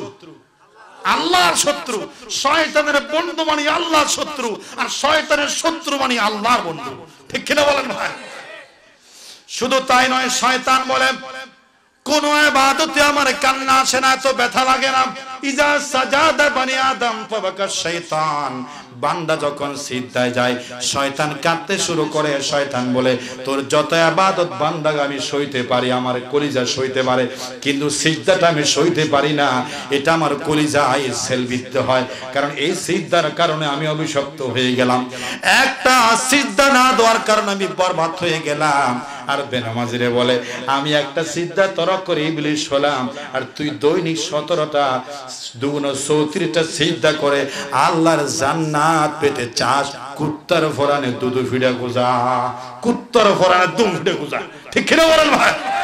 কুত্তার ফোরানে দু ফিডা খুদা যেমন কি, একটা ভুল কাজ, একটা মরিচিকা, বেনামাজিরাও আল্লাহর জান্নাতের আশা করা, এর চাইতেও দুরূহ কাজ। ঠিক কিনা বলেন ভাই? নামাজ পড়তে চান নাকি চান না? চারতে চান নাকি চান না? সারতে চান নাকি চান না নামাজ পড়তে চান নাকি চান না? কালকে থেকে পড়বেন তো? ফজরের নামাজ দিয়ে শুরু তো? আজ একটা বাজবে কমপক্ষে বাড়িতে যেতে। আমাদের লাগবে কমপক্ষে তিনটা, চারটা। আমি তো ঘুমাই না। আমরা ঘুমাই না। মাত্র আধা ঘণ্টা থাকি, এক ঘণ্টা থাকি। কষ্ট করে ফজর পর্যন্ত থাকি, তারপর ঘুমাই যাই। আপনাদের আধা ঘণ্টা করে বিছানায় যাবেন। কষ্ট হলেও ফজরের নামাজ অবশ্যই পড়তে হবে। ইমাম সাহেব যেন আপনাদেরকে মুসল্লি হিসাবে কালকে ফজরে বেশি দেখে। ইনশাল্লাহ বলেন। ইনশাল্লাহ বলেন, কালকে ফজর দিয়ে স্টার্ট করবেন, কারা কারা হাত তোলেন তো ইনশাল্লাহ আগামীকাল ফজরের নামাজ, কিসের নামাজ? কিসের নামাজ বলেন, কিসের নামাজ? ফজরের নামাজ আর এশারের নামাজ। বা জামাতে পড়বেন, সারা রাত নফল নামাজ, সোয়াব। জোরে বলেন, আলহামদুলিল্লাহ। ঘুমাবেন, সারা রাত এবাদতের সোয়াব। কি করলে? এশা এবং ফজরের নামাজ জামাতে আদায় করলে। হা জামা ইন্দি ওয়াল ইলমু ইনদাল্লাহ। আল্লাহুম্মা আমিন। الحمد لله رب العالمين والعاقبة للمتقين والصلاة والسلام على أشرف الأنبياء والمرسلين وعلى آله وأصحابه أجمعين. ربنا ظلمنا أنفسنا وإن لم تغفر لنا وترحمنا لنكونن من الخاسرين. اللهم بارك لنا فيما رزقتنا وقنا عذاب النار. اللهم إنا نسألك الجنة ونعوذ بك من النار. ربنا هب لنا من أزواجنا وذرياتنا قرة أعين واجعلنا للمتقين إماما. أي رب العالمين المشكلي বড়গুনা মধ্যম বড়গুনার সমদ আলী শিকদারের নতুন বাড়ি। ইসলামী যুব কল্যাণ সংস্থার উদ্যোগে আয়োজিত। আল্লাহ পাক মাওলানা আব্বাস শিকদার এর প্রতিষ্ঠিত এই ইসলামী যুব কল্যাণ সংস্থার উদ্যোগে আয়োজিত আজকের এই বিশাল তাফসীরুল কোরআন মাহফিল। আল্লাহ পাক তোমার আলী শান দরবারে কবুল করে না রব্বুল আলামিন মাহফিলের আয়োজন যারা করেছেন, কমিটির সদস্যরা, দেশ বিদেশ থেকে যারা সাহায্য দিল, প্রবাসী ভাইরা এলাকার সর্বস্তরের আবার বিদ্যা বনিতা, যারা মাহফিলে সাহায্য করল, সহযোগিতা করল, মাহফিলকে সফল করার জন্য দূর দূরান্ত থেকে যারা হাজির হয়ে গেল, রাত প্রায় একটার কাছাকাছি বসে রইল আমার সকল মোমেন ভাইয়েরা। রব্বুল আলামিন আমাদের একটাই দাবি গভীর রজনীতে তোমার রহমতের জোশের সময় আমাদের তাম জিন্দগির গুণাগুলো মাফ করে দাও। আল্লাহ রব্বুল আলামিন, আমাদের সাথে হাত তুলেছে এখানে, তোমার পছন্দের হাত থাকতে পারে, তাহাজ্জুদ গুজার জবান থাকতে পারে হাজি গাজি মুসল্লি থাকতে পারে। আল্লাহ পাক মাসুম বাচ্চা আছেন, যার হাত তোমার পছন্দ। ওই পছন্দের হাতের উসিলায় আমাদের তামাম জিন্দগির গুনাহগুলো মাফ করে দাও। আল্লাহ পাক রব্বুল আলামিন মাহফিলের সমস্ত সদস্য ভাইরা যারা ব্যবসা, বাণিজ্য, চাকরি, বাকরি, লেখাপড়া আছে, আল্লাহ সমস্ত সদস্য ভাইদেরকে তুমি দিনের মুজাহিদ হিসেবে কবুল করে নাও। তোমার খাঁটি বান্দা হিসেবে জান্নাতি যুবক হিসেবে কবুল আর মঞ্জুর করে নাও, সদস্য ভাইদের যত জনের আম্মা, আব্বা, আমরা যারা হাত তুলেছি, আমাদের মধ্য থেকে যাদের মা বাবা জন্মের মতো দুনিয়া ছেড়ে বিদায় হয়ে গেছে। আমাদের ওই আব্বা আম্মার কবরে পৌঁছে দাও। দুনিয়ার মধ্যে যত কিছু হোক না কেন বিদায় হয়ে গেলে আবার পাওয়া যায়। স্ত্রী হারালে স্ত্রী পাওয়া যায়, সন্তান হারালে সন্তান পাওয়া যায়। ভাই হারালে ভাই পাওয়া যায়। ছাত্র, প্রতিবেশী বন্ধু বান্ধব হারালে, দোকান, ব্যবসা, বাণিজ্য, চাকরি হারালে দুনিয়ায় যত নিয়ামত আছে, হারালে একবার আর একবার পাওয়া যায়। এই দুনিয়ার বুকে যার দরদ, বন সুখী, জনম দুঃখিনী স্নেহময়ী, মায়াময়ী, আদরের মা যাদের হারিয়ে যায়, এই জীবনে মার কোনোদিন ফিরে আসে না। যাদের বাপ হারিয়ে যায়, কোনদিন আর ফিরে আসে না। মক্কা, মদিনার সওয়াব কবুল হজের সওয়াব, রহমতের নজরে তাকালে পাওয়া যায়। যদি একশো বারে তাকানো হয়, মা বাবার চেহারা একশোটি কবুল হজ উমরার সব পাওয়া যায়। ওই বরকতের চেহারা, স্নেহময় আদরিনী চেহারা মা বাবা যাদের হারিয়ে গেল, দয়া করে, মেহরবানি করে আজকের মাহফিলের সওয়াব আমাদের আব্বা আম্মার কবরে কবরে পৌঁছে দাও। রব্বির হামহুমা কামা রব্বায়ানি সগীরা। সকলে পড়েন রব্বির হামহুমা কামা রব্বায়ানি সগীরা। আল্লাহ পাক, আজকের এই মুবারক জলসা আমাদের সাথে যে সমস্ত মা বোনেরা হাত তুলেছেন পর্দার অলন্তরারে আমাদের সকল মা বোনদের তাম জিন্দগির গোনা মাফ করে দাও। আমাদের বুড়া মা বাপ আমাদের মা বোন যাদের বেঁচে আছে, তুমি শেফায়ে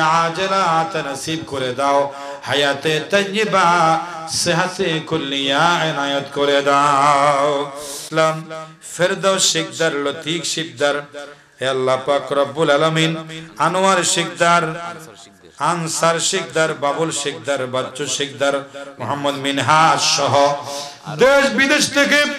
আরও অনেক তোমার মাহফিলের জন্য ভালোবাসা দেখিয়ে পাক সামর্থ্য অনুযায়ী দানের হাত বাড়িয়ে দিয়েছে, সহযোগিতার হাত বাড়িয়ে দিয়েছে। তাদের প্রত্যেককে তুমি নামুল বদল দান করে দাও। তাদের মা বাবা ব্যবসা, বাণিজ্য, চাকরি, বাকরি লেখা পড়ায় আল্লাহ পাক যত অভাব অনটন আছে, দুঃখ, দুর্দশা, পেরেশানি আছে, দয়া করে তুমি বিদায় করে দাও। জান্নাতের টুকরা বানায়া দাও, জিন্দগির গুনাহগুলো সব দিয়া বদলায়া দাও। আমাদের উস্তাদ। যে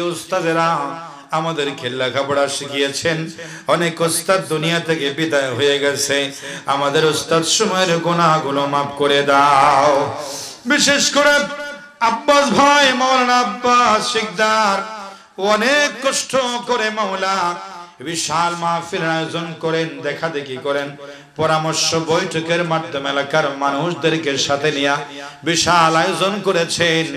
আল্লাহ পাক আব্বাস ভাইয়ের এই বিশাল কোরবানি ত্যাগটাকে তুমি নাজাতের ওয়াসিলা বানায়া দাও।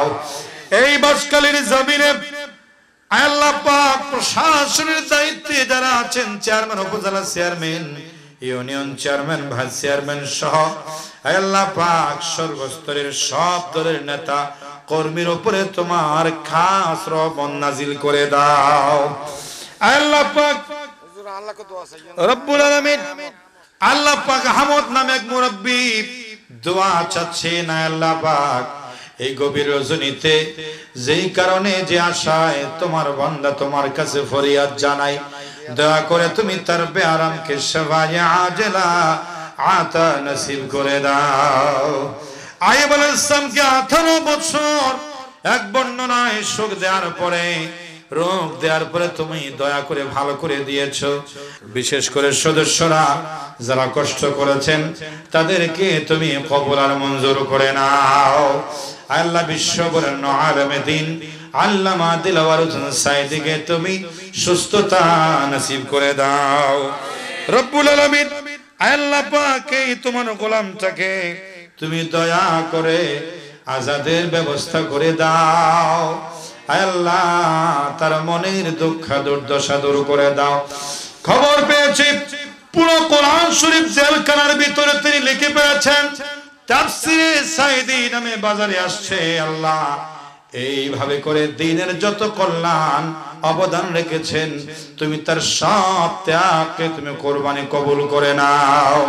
রব্বানা তাকাব্বাল منا إنك أنت السميع العليم وتب علينا إنك أنت التواب الرحيم سبحان ربك رب العزة عما يصفون وسلام على المرسلين والحمد لله رب العالمين بحق لا إله إلا الله محمد رسول الله صلى الله عليه وسلم السلام عليكم ورحمة الله